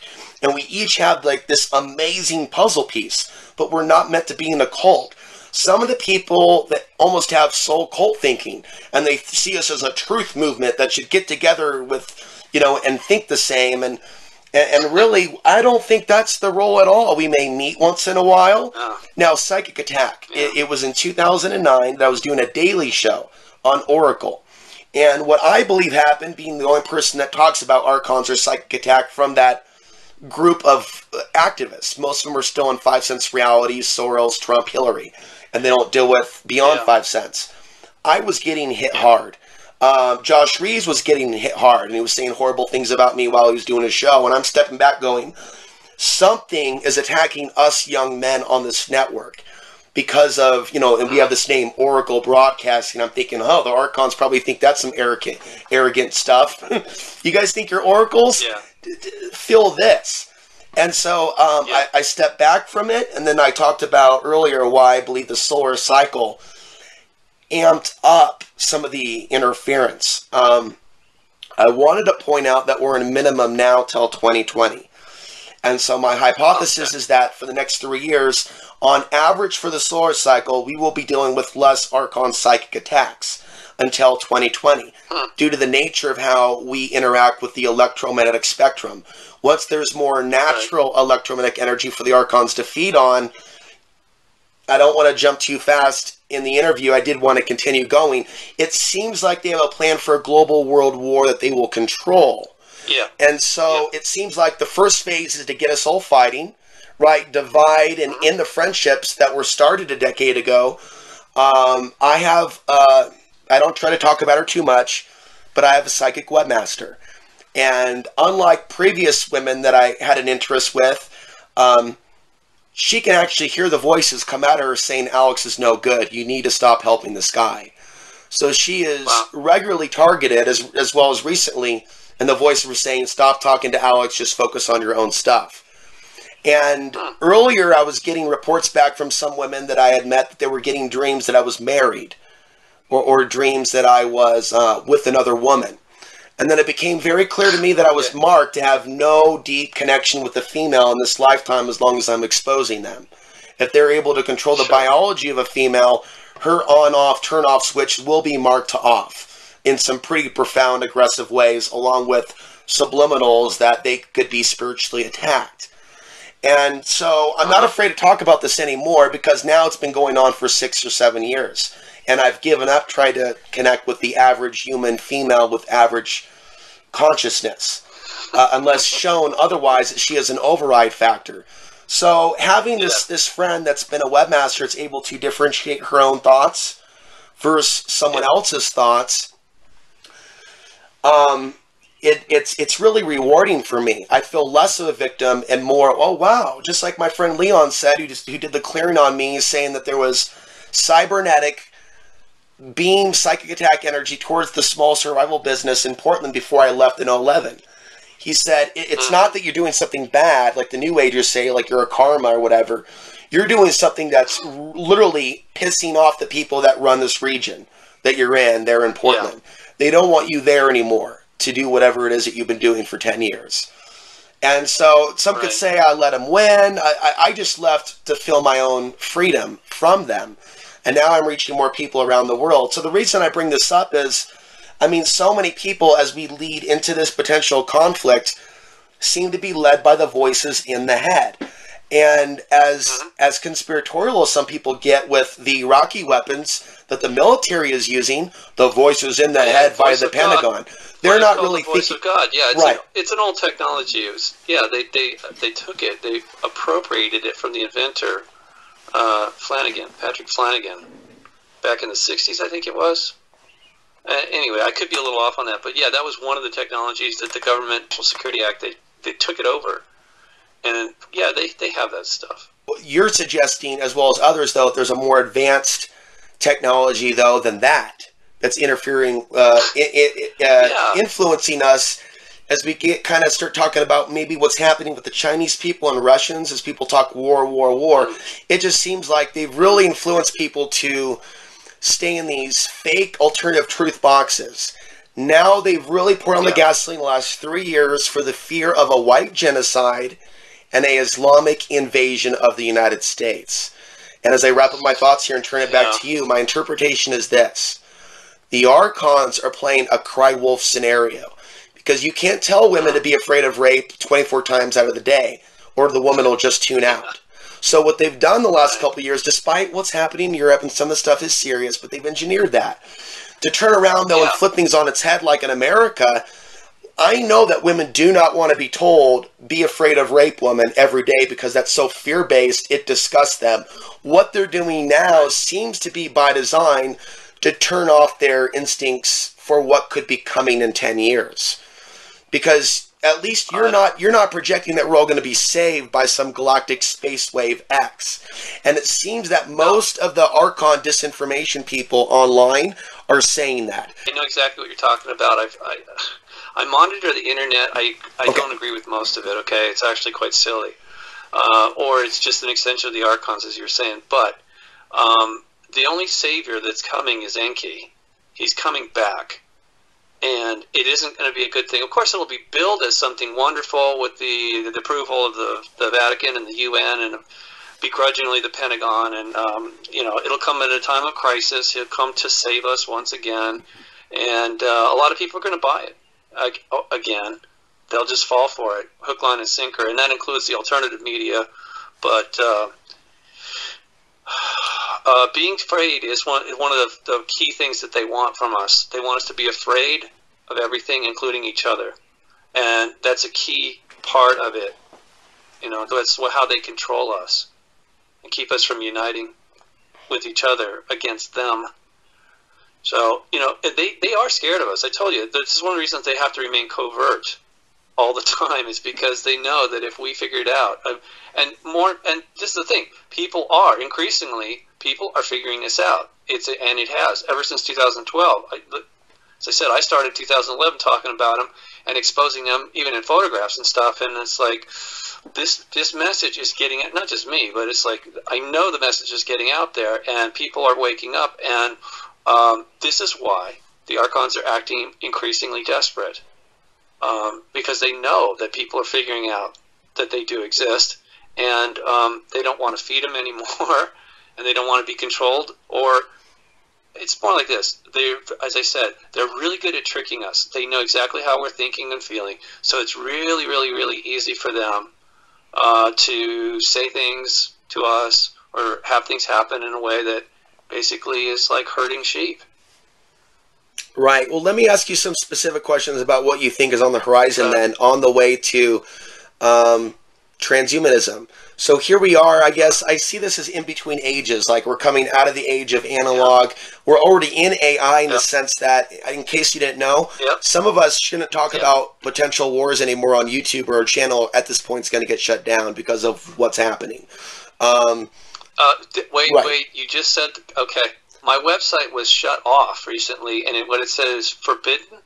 You're it's forbidden Okay. to enter this so, site. you're right. Uh, yeah, it happened today to me, and and I, I immediately started complaining, and Okay. then they just switched it back over to. But it was a way. It's it was their way of saying, um, you know, we're watching you. Don't think that you're going to slip under the radar. We could just flip you. We could just flip you off. Uh, switch you off. Well, on that Flip- note, flip my, my you're- computer you're is my computer is doing that more often too, which is why I'm looking at a backup. um, I earned some money running the news section at amtvmedia.com for Christopher Greene. And so that, that helps me pay for the bills and whatnot. He is now prohibited from uploading to YouTube. Oh wow. And so, um, so what I want to get at is, uh, so I agree with you, and I think that we're on the same page. That they want us afraid of these things, and we're in this energy stepping stone, getting more articulate with that after 2012, leading into 2025. Now, do you see something specific coming? I'm going to bring in a couple things at once, try to summarize it. Around the 2020s, going from this 87 Yeah. 2012, 2025. Now, 10 years ago, I came to the belief, and I could be wrong, let's hope I am, that that'll be the time in which they plan to have this occupation of the U.S. Potentially a stage thing, something to, for the Archons to feed off of. That fear that Americans Right. could be in if our current president or whoever's coming in in 2020, let's say Trump leaves and hands Yeah. over. Basically, the stage is being set for there to be an East versus West scenario. And a lot of researchers that are like really deep into warning about World War III, they're having a very difficult time, right? With the idea that Enki or someone or something is manufacturing the conflict, that there is no real uh, good guy. When I look at Putin, I see an alien. Yeah. Okay. When I look at Trump, I see an Archon. When I look at Z, I see literally a T Rex reptilian. This is not a typical way to look at the world. This is considered crazy. I'm struggling, though, because I truly believe that I, I believe I've glimpsed into this 2025 reality. And it's not like a spaceship, the Pleiadians coming to save us. Well, but I'm hearing, I'll stop saying names. I'm hearing other people say this, though, to their flock. Yeah. Friends of ours will say. course. Friends of ours are telling people we're saved by 2025 and we're going up in the Uh-huh. spacecraft. And I'm like, okay, well, this is then more archonic influence over the alt media. So, last point, Yeah. they're promoting going to Mars, which you're also all about discussing before it was cool. They're basically Uh, yeah, telling the young was- people that they're going to go off planet during war in the future, I speculate. They're not yet saying that that's the plan, but that seems to be the agenda to create an off world colony using humans that are so freaked out and, and afraid that they'll go any, they might not even go to Mars. They might just go over to some, and I'll throw that back in your corner because I think now Yeah. we're reaching this critical mass where people don't trust NASA, they don't trust the space program, and they're going, "Who is Elon Musk? You know, why does he really say Right. he wants a tunnel under New uh, Los Angeles?" Yeah, as if there wasn't already. So yeah, the, the problem is that uh, false pretenses. Everything is packaged in a certain way in order to promote a response, and um, you know David Icke talks a lot about that, and it's it's really older than what Icke is talking about the Hegelian doctrine, left, right, center, problem, reaction, solution. It's it's it's how they operate. Uh, as I said, they're herding the sheep into a certain direction. So recently, Trump, or allegedly Trump, administration has said we need to go to Mars. Now, why? I don't know. That they didn't say, but I, I suspect it's part of this this thing. It's, it could just be preparation, you know. But the other president that said that was um, H.W. Bush, and we didn't go, at least as far as we know we didn't go. But if you look at uh, the article, it's a multi-page article that I wrote called um, "Digital Deception in the Pacific." It's all about Google. using Google Maps, how they can make shit disappear, or they can make stuff. I think they can make stuff appear. I mean, it's all digital. Why not? They're, they're, you know, it's like the Mandela effect of maps. They can just do things, but there are things on the Google Earth maps of the moon and Mars that are just mind-boggling. People aren't talking about it. Um, Google is um, was started by the Pentagon, and if you look at any one of their maps, it'll show you that where they get the source data from, which satellite, which agency. I mean, Google doesn't have their own satellites; they just get the they get the imagery or the information, and they put it on their in their map or maps of Earth, Moon, and Mars. So the problem was I was looking at things that looked like anomalies under the water uh, last year. Yeah, it was, it was about this time last year. I was looking at something. I'd been looking at it for a while, thinking, Jesus, this looks like a building or a couple buildings under the water near the equator. Really big ones. And as I was looking at it one day, they just vanished. I came back, you know, I was doing this, I was doing screen captures and studying it in Photoshop. I come back, it's gone. And I was like, wait a second, how in the hell did that happen? That you, you know, it couldn't be, that couldn't have really happened. So that's you know that, and also the so-called uh, UFO base off of Malibu. That's the opposite. That's where they, I believe, they actually um, photoshopped it so that it looked like something that it's not, and then they promoted it through um, uh, local talk show host some of his buddies. They put that out there, and it polluted the internet. Now, I mean, God, most people in the alt media they they really think there is a a massive under, underwater entrance just off the coast of the military base there at Point Mugu. Well, Malibu. on that topic, and, I, and I'll try to be brief with this. Um, there, there's a, been a, a, fake news explosion take off in the last two years. And yes. even though I do have a passion for discussing geopolitics, the outrageous disinfo about Russia, China invading the U.S. ahead of time or 10 years ago, allegedly, yeah. at the Mexico border. I'm like, wait a minute, this stuff isn't there by accident. They're trying, if I'm correct and not incorrect, if they are planning this in the future, it would make sense for them to pollute the internet with this information, calling it early, doing the whole cry wolf thing, getting women to be afraid yeah. early in advance thing. So when it does happen, no one will look, no one will be aware. They'll just say at that point, you know what? Don't talk to me anymore. I don't want to hear about this crap. and so right now they're getting people right. to be angry at the conspiracy folks. And one last point every now and then they go after the people that are interested in higher consciousness and alien theories. They'll do hit pieces right. on them too and try to make them to be violent by writing up a story about a serial killer who believed that he was out to kill the reptilians. And about every year they have a story the Daily Mail will release. Yeah. Well, it's again, this is part of social engineering, mind control, psychological warfare, uh, you name it. But it's it's a way of keeping everybody in line, and um, also preventing us from seeing what's real and actually doing something about it. It just seems yes, like maybe they want to get off the planet for another reason that we don't know about. Maybe it is soul related. What if the dark grid could come down from the solar flares to go really out there. And in that case, yeah, they wouldn't be able to control telepathically the same amount of humans. So they would maybe like to have their off world base where they can have new humans which aren't grounded yeah. to the earth because they're off world, they're off the earth. Right. And so maybe That's they want to right combined with whatever they're doing right now that we don't know about. The way I see it is that they have put together a contingent of so-called super soldiers with advanced AI technology, space transport, and they will be using that at some date in the future to uh, continue their military campaign, not in this solar system, but within this galaxy. And it's part of an ongoing affair that Enki initiated against his family.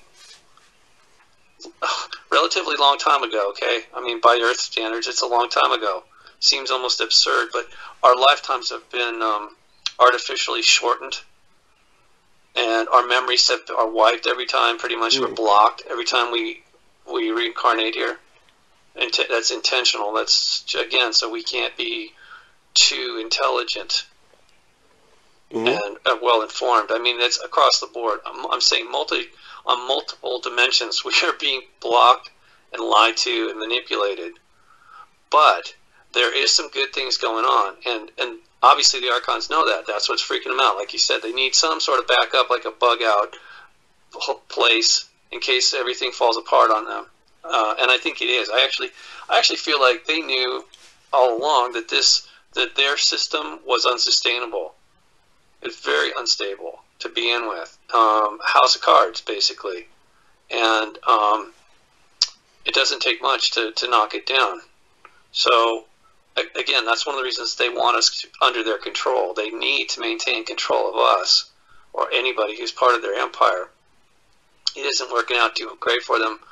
And um, this is this was what I was talking about. These when I asked telepathically what I felt was divine beings, how are you going to resolve this problem? What can you do?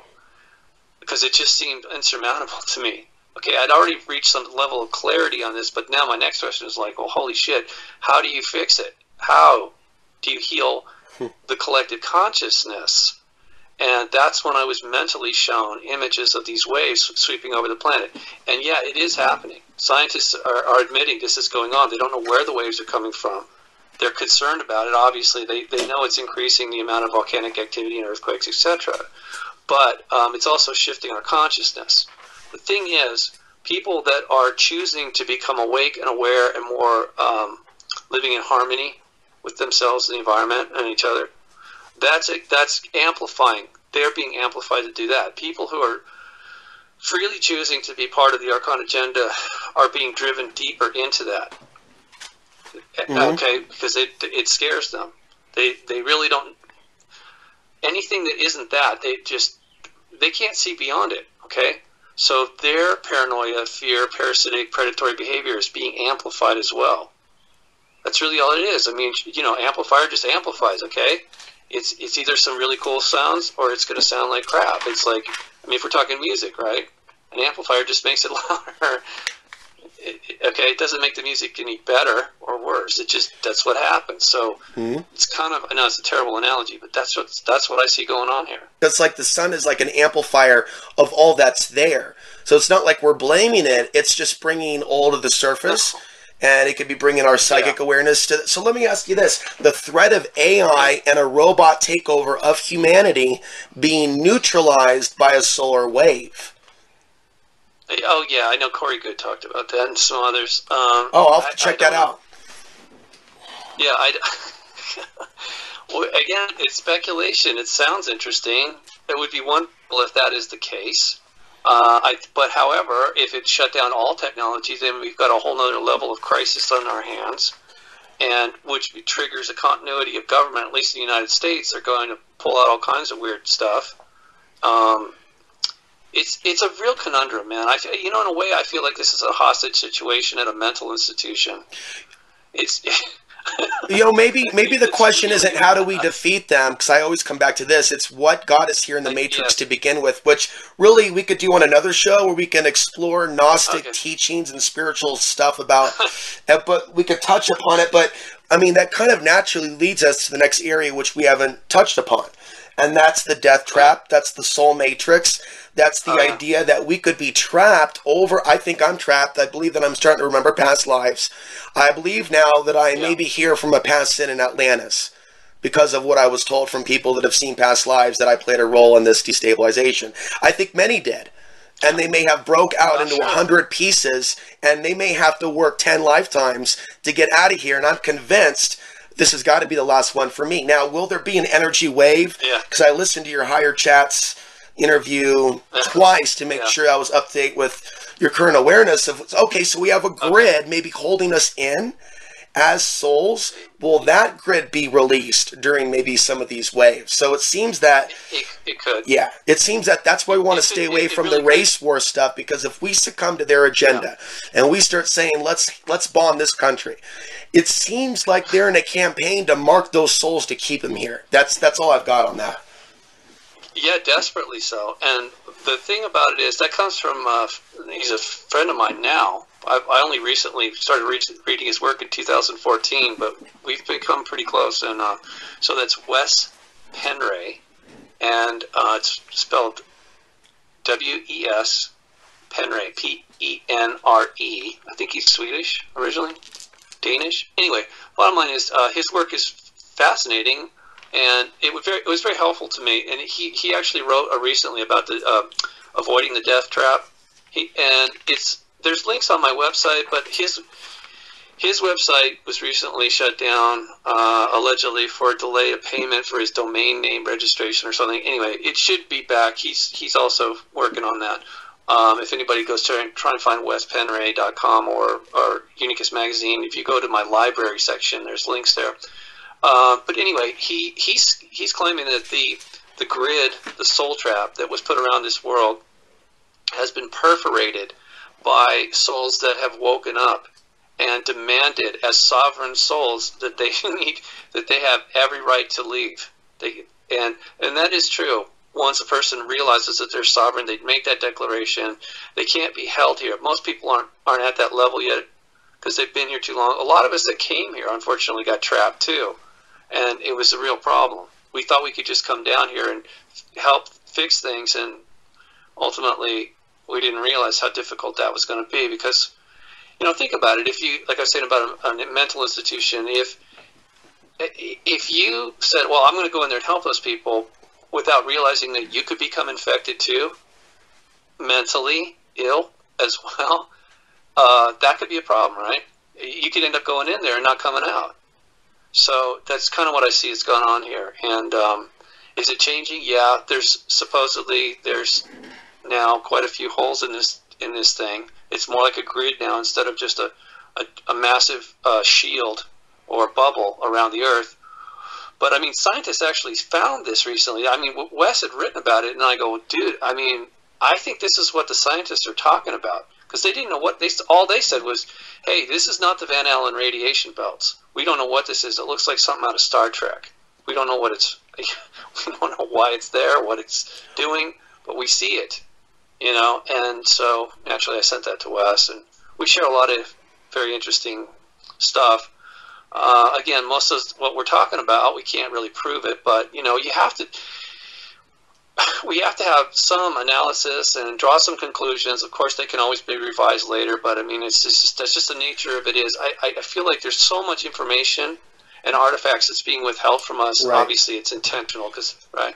So it, it, makes it difficult to deal with these topics. Right. We talked about Iraq. Um, so the missing. Uh, I want to segue from that also to Stargate the series. So with Iraq, we saw the missing artifacts of 2003. What do you think was right. behind that, and how do we connect in maybe predictive programming, Stargate with all of that, and what you said earlier about Enki want, maybe wanting his own technology to travel to different worlds? Well, Stargate has some very charismatic. Um, actors. I like Richard Dean Anderson, and there's Amanda Tapping. It's a really kid-friendly show. I mean, it's really. I, I, I bought the whole series for like a few bucks at the thrift store over the winter, and I felt that I was meant to buy that. Right, kind of digest it, be entertained by it as we were snowed in for three months, but also go, oh, that's what they want us to think is cool. Oh, and then they really brought out in the Stargate episode the Greys working with the human government or other alien factions. Yeah. Well, Hollywood is not a benign capital of entertainment. Right. It is something that Enki instituted. Um, so, if, have you happened to see the new Fox show called Lucifer? Um, I haven't, but there's a new Fox show called People of Earth or something that's about Earth living after an apocalypse, and they're basically living yeah. alongside alien technology. So I haven't heard of that uh, one. No, oh, I heard that it was oh. coming out though. Yeah. No, it's it's been out. It's it's it's in its okay. second season. I think they're actually finishing up the second season. The bottom line is this: I was contacted by a Yazidi gentleman who told me he is a, was born and he is a Luciferian and he's part of a group that worships Lucifer, Yaldabaoth, whatever, right? It's it's common in certain parts of the Middle East. They people they don't advertise, "Hey, I worship Lucifer," um, but again, you know, that's it was, it was very very common up until the time of the Crusades, etc. Anyway, he contacts me and said, "Look, we feel very insulted by what you're saying about Enki, Lucifer." okay, look, I'm not trying to insult anybody. if it's true, it's true. Okay, uh, I'm not trying to make shit up just to make him look bad. If it's true, that would explain some things. That's why we're discussing it. And then he says to me, "Well, um, uh, he's got his own show coming out." I'm like, "What do you mean?" And he's so he tells me about this it's not a it's a sitcom, right? Where Lucifer leaves hell and goes to Los Angeles, right in the heart of Hollywood, opens up a nightclub called Lux, and all the machinations that go on from there. I won't, but I found it curious because here I've been talking about this, and in 2000 and yeah, I think it was 16, 2016, just last year is when it, I think it was that. Anyway, recently, okay, recently, I was saying how I met, I had met Lucifer in Malibu there. Sure enough, some jerk in Hollywood ends up, you know, rewriting some, you know, thing. It's so that Lucifer is now living in Hollywood, but he's he has a liaison with um, a female detective who lives in Malibu. And I'm like, oh Jesus, you guys, you can't even have a. It's like you have zero freaking originality, and you're listening to all these shows and reading all our websites and trying to twist it into your own version of, you know, what people see. Because here's the problem: the human subcon, so-called subconscious, doesn't know the difference between entertainment and information. So a lot of that stuff, um, we just we just absorb it. It gets ingrained into a part of our psyche, which is another word for mind. But the mind is not just the brain; it's the soul. So look, those patterns that they're projecting it literally into us mm-hmm. become part of us. Okay, unless we completely go switch it off and go bullshit. I know who's doing this. I know what trying to say to me. I totally reject that. It's wrong, uh, which most people don't do. They just go, oh well, that's entertainment. You know, that's Hollywood for you. They don't understand. It's they're casting a spell. It's sophistry, and and that word actually is based on the word Sophia or Sophia, right? The goddess, who allegedly who the Gnostics blame for creating the archons. Well, that's that's a weird way of saying it. It's like saying Eve is to blame for all of humanity's uh, evil, right? When in fact it was Lucifer or Enki, this one. Well, th- that's actually a good. There's there's the Gospel of Saint Thomas, and there's the 113 verses. Uh-huh. And there's the and I did a yeah. reading of that for the first time over the winter on YouTube, and I just felt the release by echoing that. And then I made a note about yeah. verse 114, and I haven't yet delved into that conspiracy, but it basically says that you know women don't have a regular soul as men or something like that.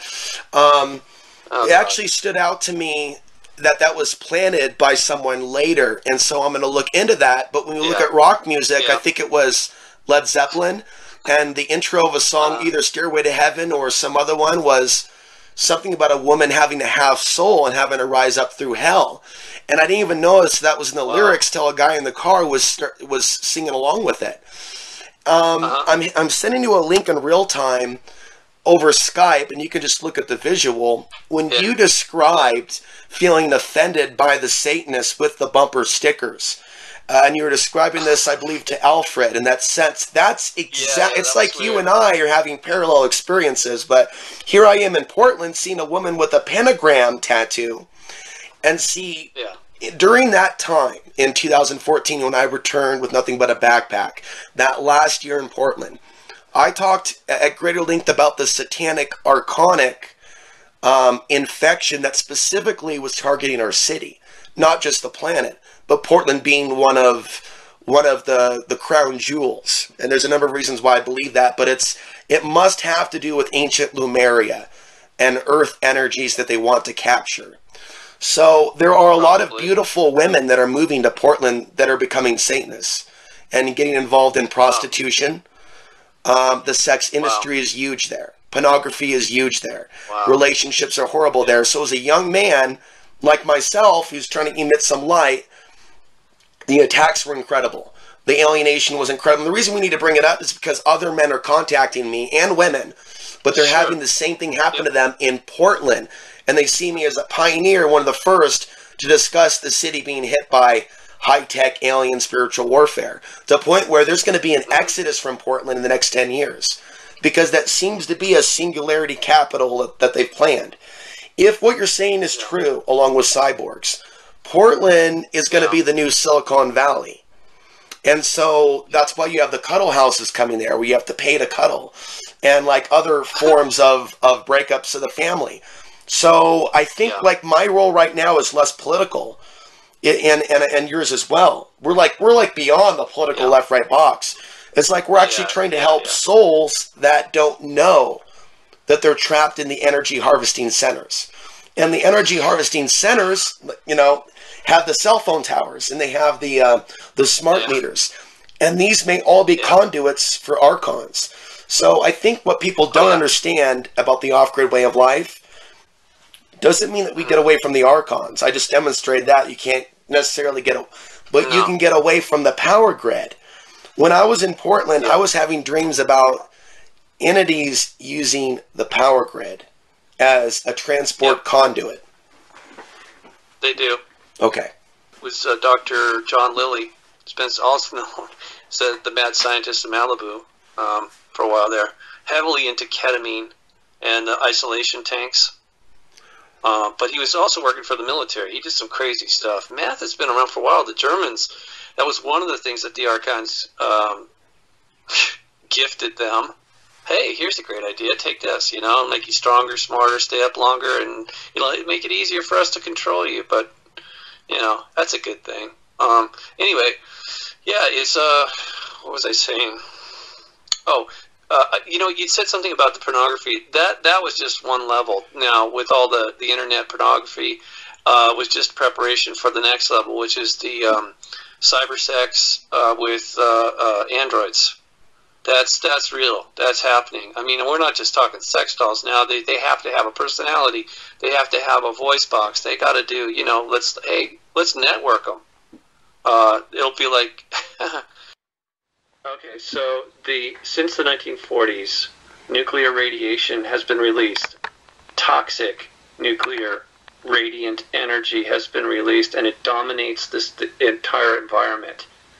Um, and I mean, it started at Los Alamos. I mean, sorry, White Sands, July 16th, and I think that coincides with them landing on the the Capitol on July 16th, 2002. So I think the first bomb was ignited in 42. Anyway, it, it, it seems to have some sort of cor- correlation there, but the reason that they have released so much toxic radiant energy on this planet is because they knew that the, the divine beings, on the flip side of the coin here, they knew that the divine beings were directing uh, benevolent energy to us. A, a different kind of radiant energy, a radiation that is actually positive, just like sunlight is actually radiation, okay? But without it, we die. So it's that kind of, those different competing types of frequencies are what's going on on this planet and obviously affecting our consciousness and our state of being. So um, I hope I hope that made that clear. Because there's no way that you need. They did not need to blow up that many nuclear weapons, so-called testing, below the ground, above the ground, even in outer space, just in the upper atmosphere. All that's ridiculous. They they obviously had a, a direct purpose or intent behind it. Most people have no idea what that would be, other than well, it's just part of the military. It's for our national defense. So, so you're basically hypothesizing that, along with others, that the future as it stands is cybernetic. Um, but beyond that, you see maybe something changing on the Earth. Well, of course, of course I do. Um, and I could be wrong, but the way it was shown to me was that a lot of people were going to wake up at a, pretty much around the same time. And I, I actually see that happening. I mean, recently we were hit with two huge, waves that washed over the planet from two different directions. Scientists were very concerned about it. They don't know where these waves are coming from or, or what it's going to portend for the future. But it seems to be increasing. That level of activity is not hypothetical, it's real. Um, uh, now, like I said, though, the, the archons, the dark side of the, of the equation here, is freaking out. They know that it's at some point uh, this these extra waves of energy are going to trigger people to literally become fully aware, whether they like it or not. Everybody's going to be awoken from their uh, current state of, of stupor.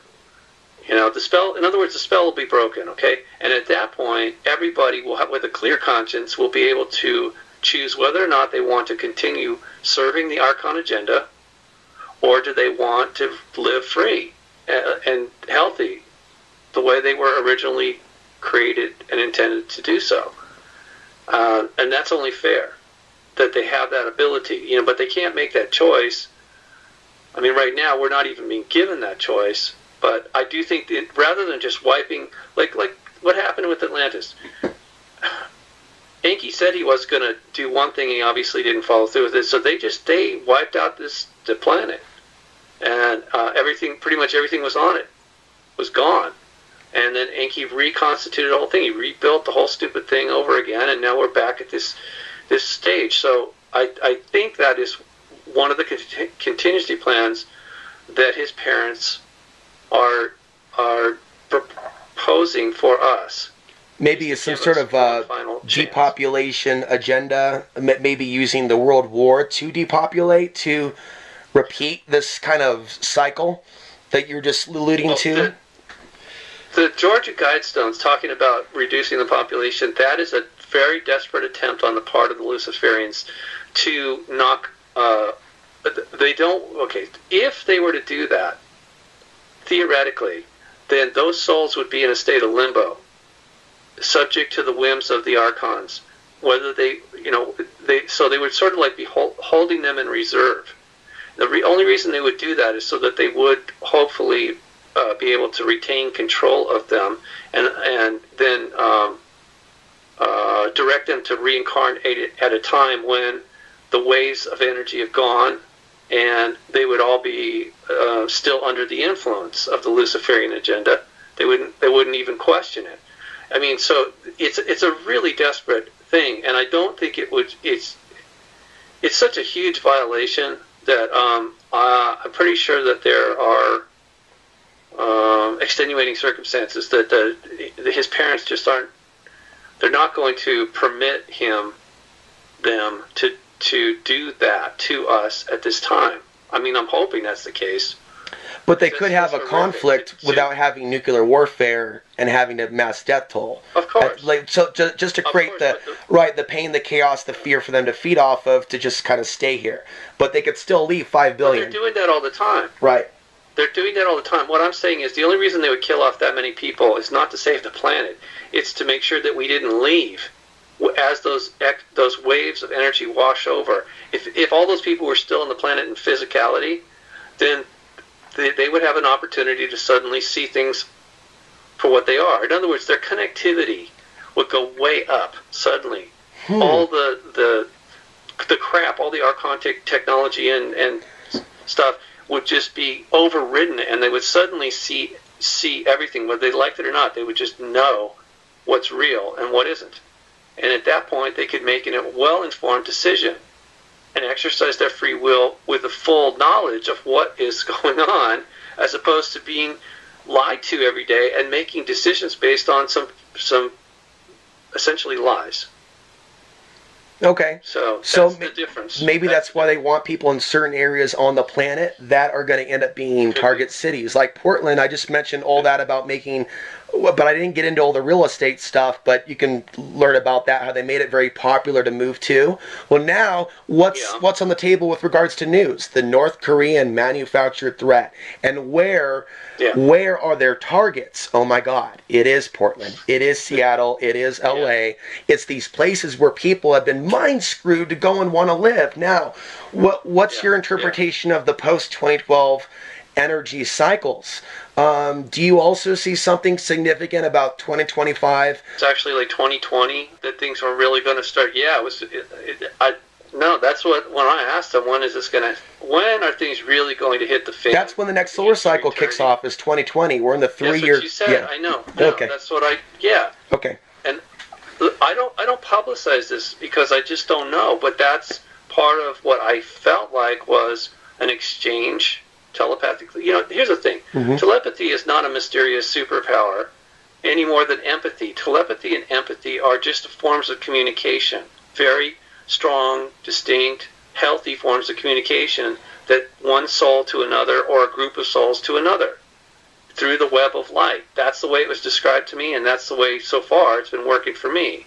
Problem is, like Enki's aware of that too, and this is why they do all, all this other crazy stuff, literally crazy stuff, to to keep us disconnected from the the web of light. I mean, even this internet stuff, it's a it's a bastardization of what really already exists on a much higher level at much much higher capacity for, for communication and commerce and all kinds of stuff.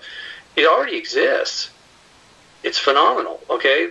Uh, but we're not given access to that think people are starting to really get it why they're maybe chemtrailing to block out the rays of the sun.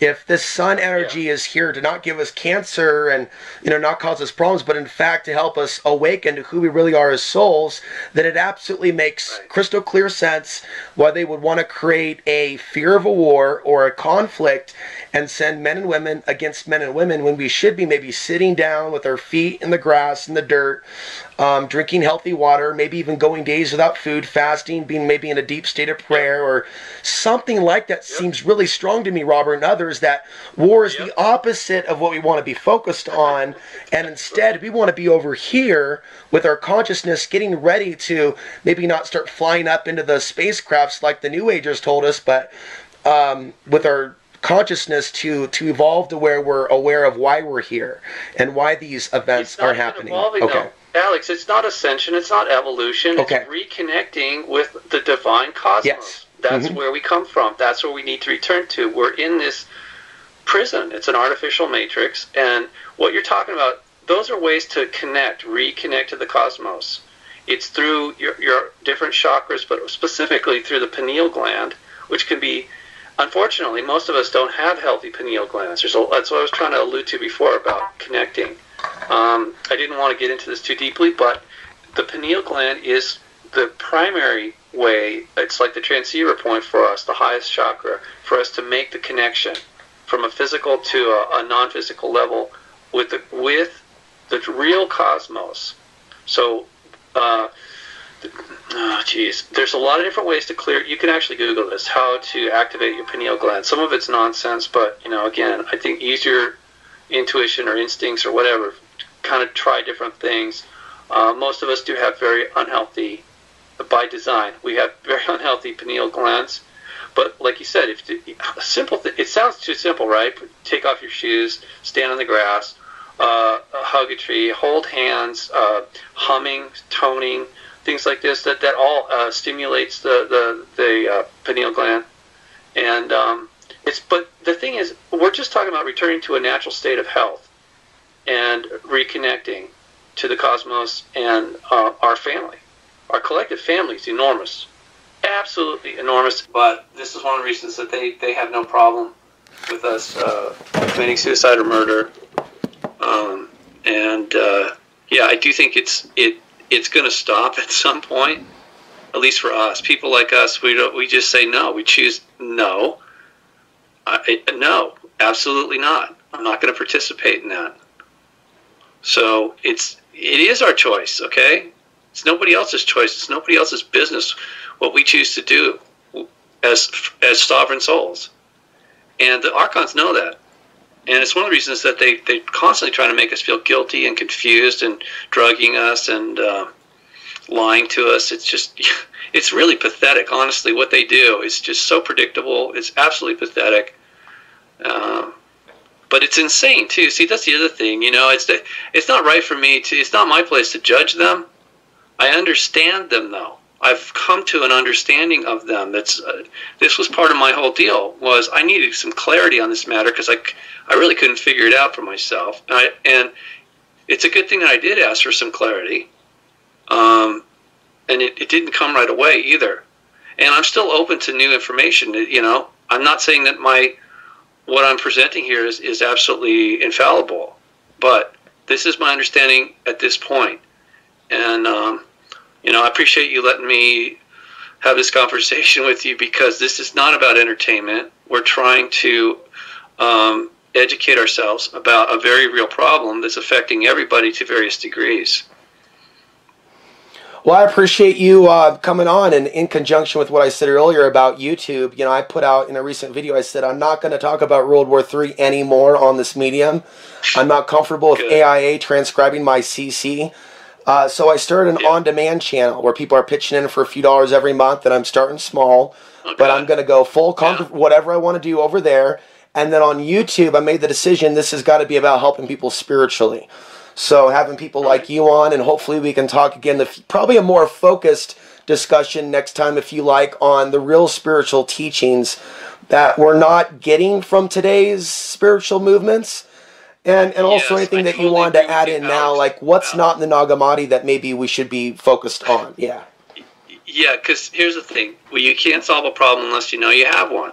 So, and I've been very focused on that. And yeah, I've I've alluded to some possible solutions, but I do want to focus more on that going forward. If I'm going to keep doing this public speaking and writing, um, that's that's really I think that's where we're at. Not just me, but I think that's where we're at now. Is we there's a lot of people that understand the problem, and but they but now the question is okay so what do we do about it how do we deal with it right individually collectively so that's worth that is worth talking about it at, at some uh, in some depth